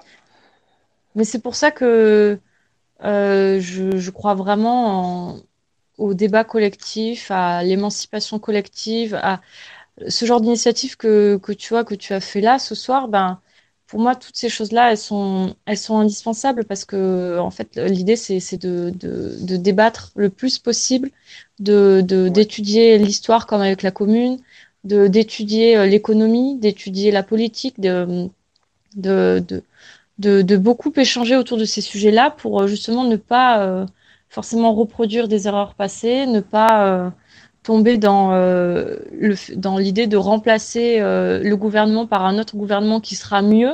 Pour moi, un gouvernement est toujours, euh, toujours euh, euh, une séquestration du, du pouvoir. Donc pour moi, c'est c'est- c'est- c'est voué à l'échec. Mais justement, de... c'est ce que j'essaie de faire à l'échelle de mon blog et, et un petit peu des réseaux sociaux. Et puis autour de moi, c'est de sans cesse parler de tous ces sujets-là parce que parce qu'il faut qu'on il faut qu'on s'éveille, qu'on s'éveille les uns les autres. Moi aussi, j'ai beaucoup à apprendre d'autres gens et toi aussi et tout le monde euh, avec nous et et de Exact. et de vraiment euh, euh, débattre de, tous ces sujets-là, de, de se renseigner de, de- par la vidéo, par le texte, par l'audio, par ce que tu veux. Mais, euh, mais voilà, de pas se- de pas s'arrêter à nos, à nos vies, à nos quotidiens, même s'ils peuvent être très difficiles pour, pour certains d'entre nous. Mais euh, de, d'essayer de construire prenant. quelque chose collectif, quoi, tu vois, d'être, euh, de s'impliquer collectivement euh, dans la, dans la situation actuelle, quoi. La démocratie. très claire dans ce On dis, termine. mais Non, si, si, bah si, en gros, de s'investir dans le, dans la, dans la démocratie. Démocratie, démoskratos, dans le, dans le, la- le partage du pouvoir, enfin, je sais pas, la, la destruction du pouvoir Oui. comme il est aujourd'hui pour que tout le monde. Oui. Mais ça, ça passe par la révolution de plein de choses. La révolution du travail, il faut qu'on travaille moins, voire qu'on travaille plus, euh, enfin, plus. Vraiment, moi, je, euh, je vous conseille de, de, de lire du coup sur ce sujet-là euh, Paul Lafargue. Moi, vraiment, ce gars, ce qu'il a écrit, ne serait-ce ne serait qu'avec sa. C'était quoi déjà euh, Mince, le, Le droit à la l'antithèse paresse. du droit au travail. Voilà, du droit, le droit à la paresse. Euh, ne serait-ce que ça, ça nous donne des clés de compréhension de beaucoup de choses sur, ces- sur ce qu'on s'est dit ce soir. Et, euh, et finalement, bah, c'est un peu, c'est un peu lire. Est-ce qu'on peut dire que c'est un peu lire Marx de lire Lafargue? Je sais pas, mais en tout cas, euh, moi, ton, ton bouquin là, il me renvoie à un bouquin que j'ai lu et que j'ai beaucoup aimé, qui m'a beaucoup marqué. C'est Éloge de la démotivation de Guillaume Paoli aux éditions Ligne, qui est une petite maison indépendante euh, très peu connue. Et, euh, et justement, il y a vraiment cette notion de, de, de, de travail et de, trop travailler, de trop s'impliquer dans le travail. Et, euh, et je pense que ça, c'est un bouquin qui a été beaucoup inspiré de celui que tu as lu de Lafargue. Mais euh, Peut-être. Voilà. En tout cas, il n'est pas si facile à lire. Il est court, mais comme c'est assez ancien, enfin, en gros, l'idée, c'est Oui. ça, c'est qu'on est, euh, on est corrompu par le travail, euh, Oui. dans la forme dont il a pris, et qui nous éloigne de tout. Il nous abrutit. Il nous, dedans, euh, il, il, il est très dur envers, envers nous, parce que nous, nous les prolétaires, enfin, nous les travailleurs, les, les, ceux qui, enfin, les, ceux qui subissent le labeur, ils, il va jusqu'à, il va pas dire ah c'est la faute aux bourgeois machin. Il va, il va même comprendre les bourgeois euh, qui sont eux aussi victimes de leur euh, de leur plan de départ. Qui sont, qui- je veux pas vous raconter tout, mais en gros c'est ça. Et, et, et il est très dur envers envers les, les classes laborieuses parce que il dit qu'on euh, qu'on a une- un amour du travail, qu'on a Oui. épousé la méritocratie et que on s'est abruti dedans et que c'est de notre faute aussi quelque part un peu. Oui, mais après, on n'a pas tellement le choix aussi quand tu quand t'es dépossédé, quand t'as pas de lopin de terre pour euh, subvenir à tes besoins. Ah T'es oui, bien obligé de vendre ta force de travail.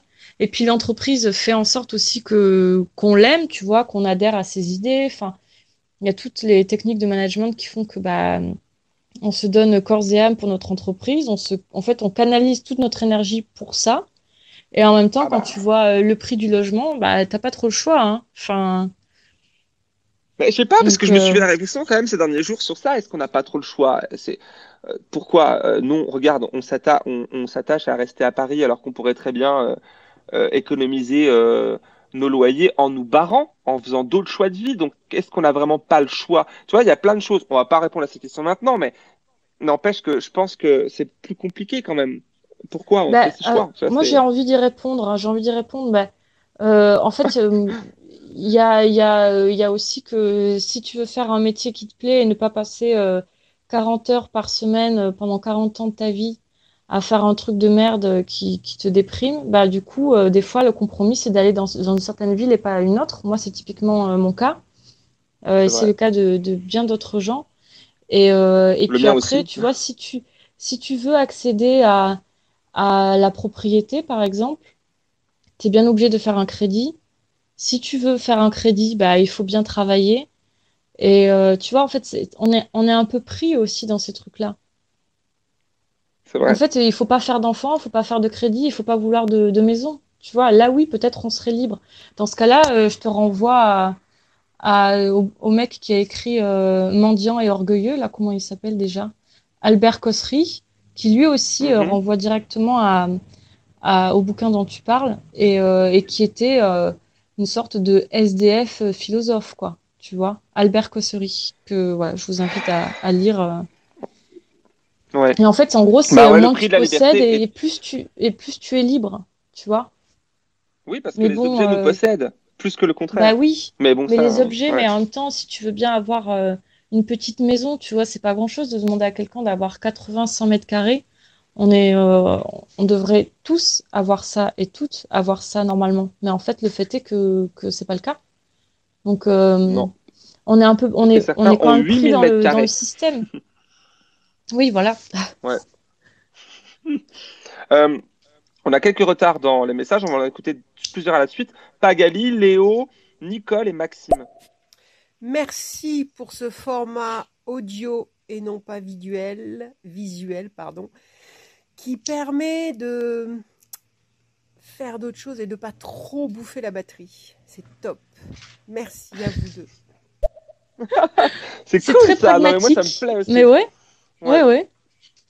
On va refaire. Je pense que on va refaire. Que ce soit. Je pense que tous les deux, il y a moyen. On, on match bien, j'ai l'impression, comme ça. En... Hein? Ça fait longtemps que je voulais faire une, une émission avec toi. Tu te souviens Je t'ai proposé plusieurs fois. Oui, oui, oui. Bah oui, non, ça marche Et, bien. euh, Après, euh, c'est vrai que déjà de base, ça marche bien. Donc pourquoi ça marcherait pas euh, en live? Exactement, parce que ça, on le fait, ce genre de, de- on, a, on a parlé des, je crois, des cumulés des jours entiers, donc il y a moyen que qu'on en fasse profiter les auditeurs et auditrices en même temps. Ouais. Il y a Léo qui nous parle. En tout cas, ce format euh, podcast est vraiment euh, trop intéressant et euh, agréable à écouter. C'est c'est très cool. Ah, quelle petite voix charmante. Alors, Bah, je n'ai rien pour ces entendu. compliments. J'ai rien entendu. Je- il nous dit, il, il nous dit que le podcast est agréable à écouter et, euh, et que c'est sympa. Euh, en Ah, gros, c'est des compliments. C'est Merci. gentil, merci à toi, Léo. Il y a Nicole qui est juste après. Sémile, avec tous les coups que tu as pris, bientôt tu pourras demander une pension d'ancien combattant. C'est clair. Oh mon dieu! Oh, on se marre. Mais ouais, putain. Moi, attends, j'ai quand même une anecdote là-dessus. C'est que quand euh, j'ai reçu mon deuxième ou troisième coup, là, je sais plus, à République, le coup de matraque en plein live, d'ailleurs j'étais sur YouTube et ça a foutu les jetons à plein de gens parce que ça s'est arrêté d'un coup. Et euh, eh bien, j'ai été hospitalisé à Bichat pour un, euh, eu, pour un traumatisme crânien et j'ai reçu une facture. Ah bah super. J'ai reçu une facture. J'ai dû payer mon coup de tonfa que j'avais moi-même avec toi d'ailleurs payé avec mes impôts au préalable. Donc, Ouais. parce que c'est nous qui payons. Hein. Donc c'est- c'est- je me Mais marre d'un c'est truc pas drôle. mais- scandale. hein. Ouais. Ouais.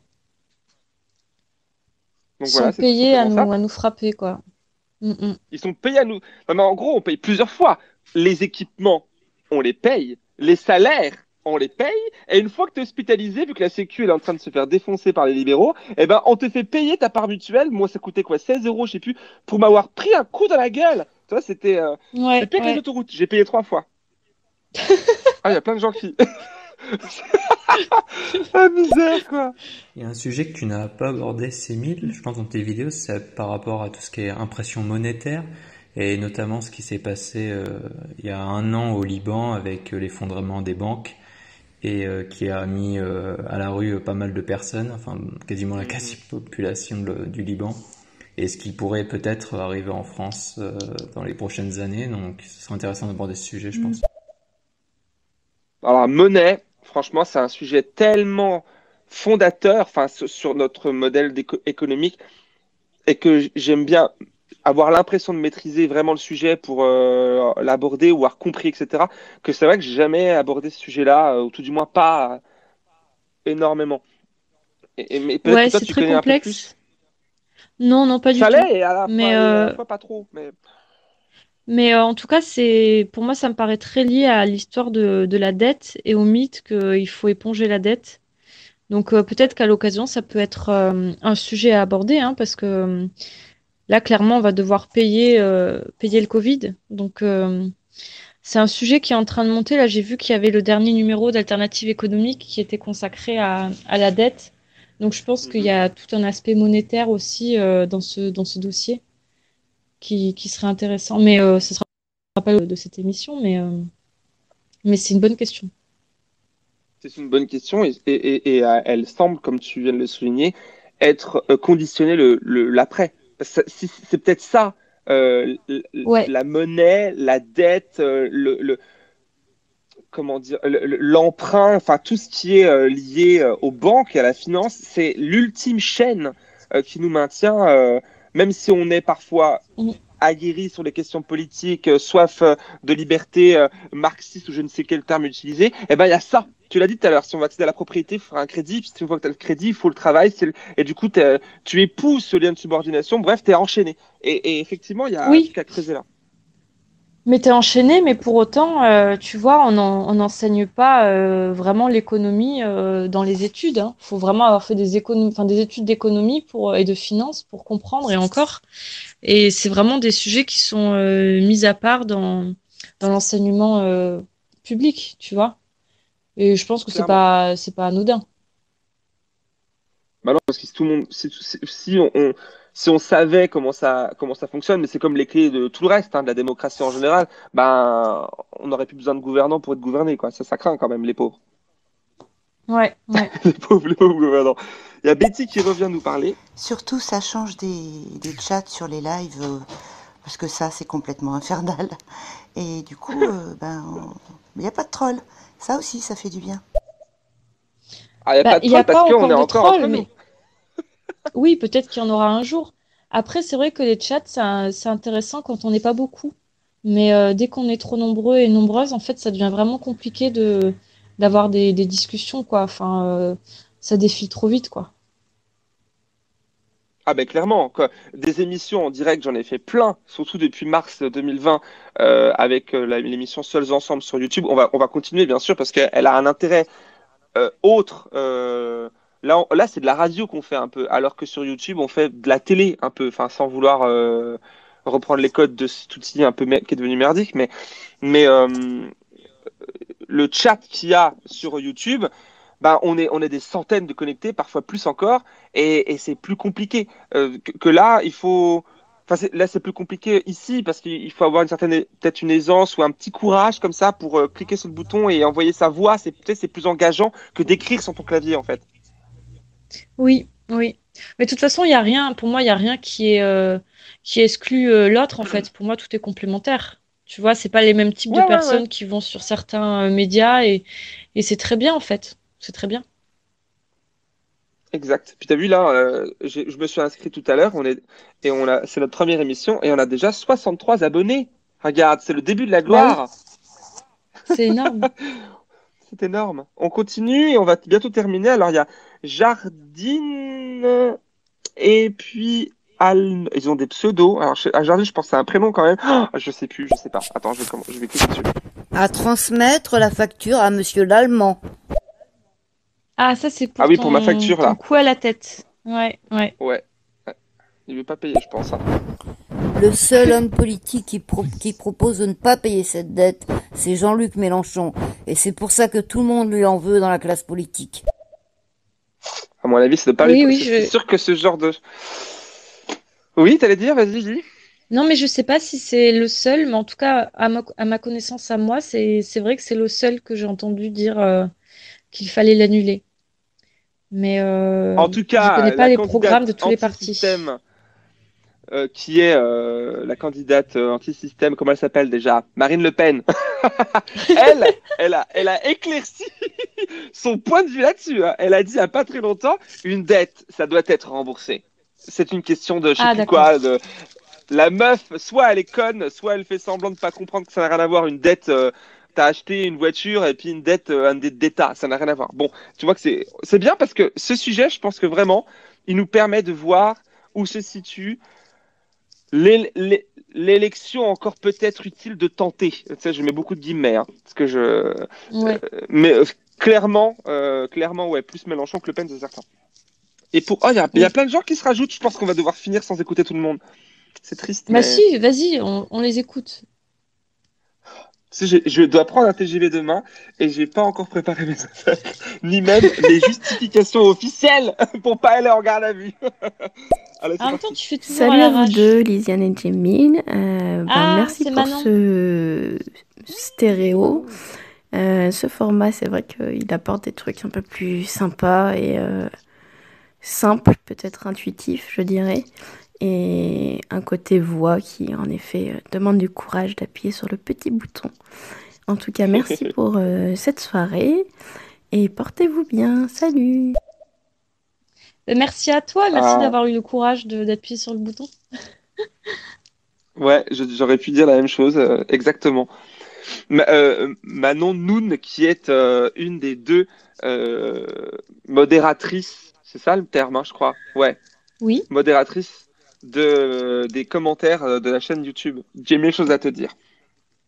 Ouais. Coucou, est-ce que euh, vous prévoyez de faire un live sur le thème de l'abstention, justement, pour essayer de, de- de convaincre les abstentionnistes d'aller aux urnes?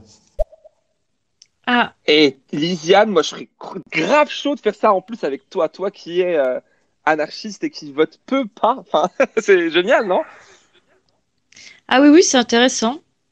On parle toujours des abstentionnistes, mais jamais des actionnistes, ceux qui votent. On ne nomme pas ceux qui votent.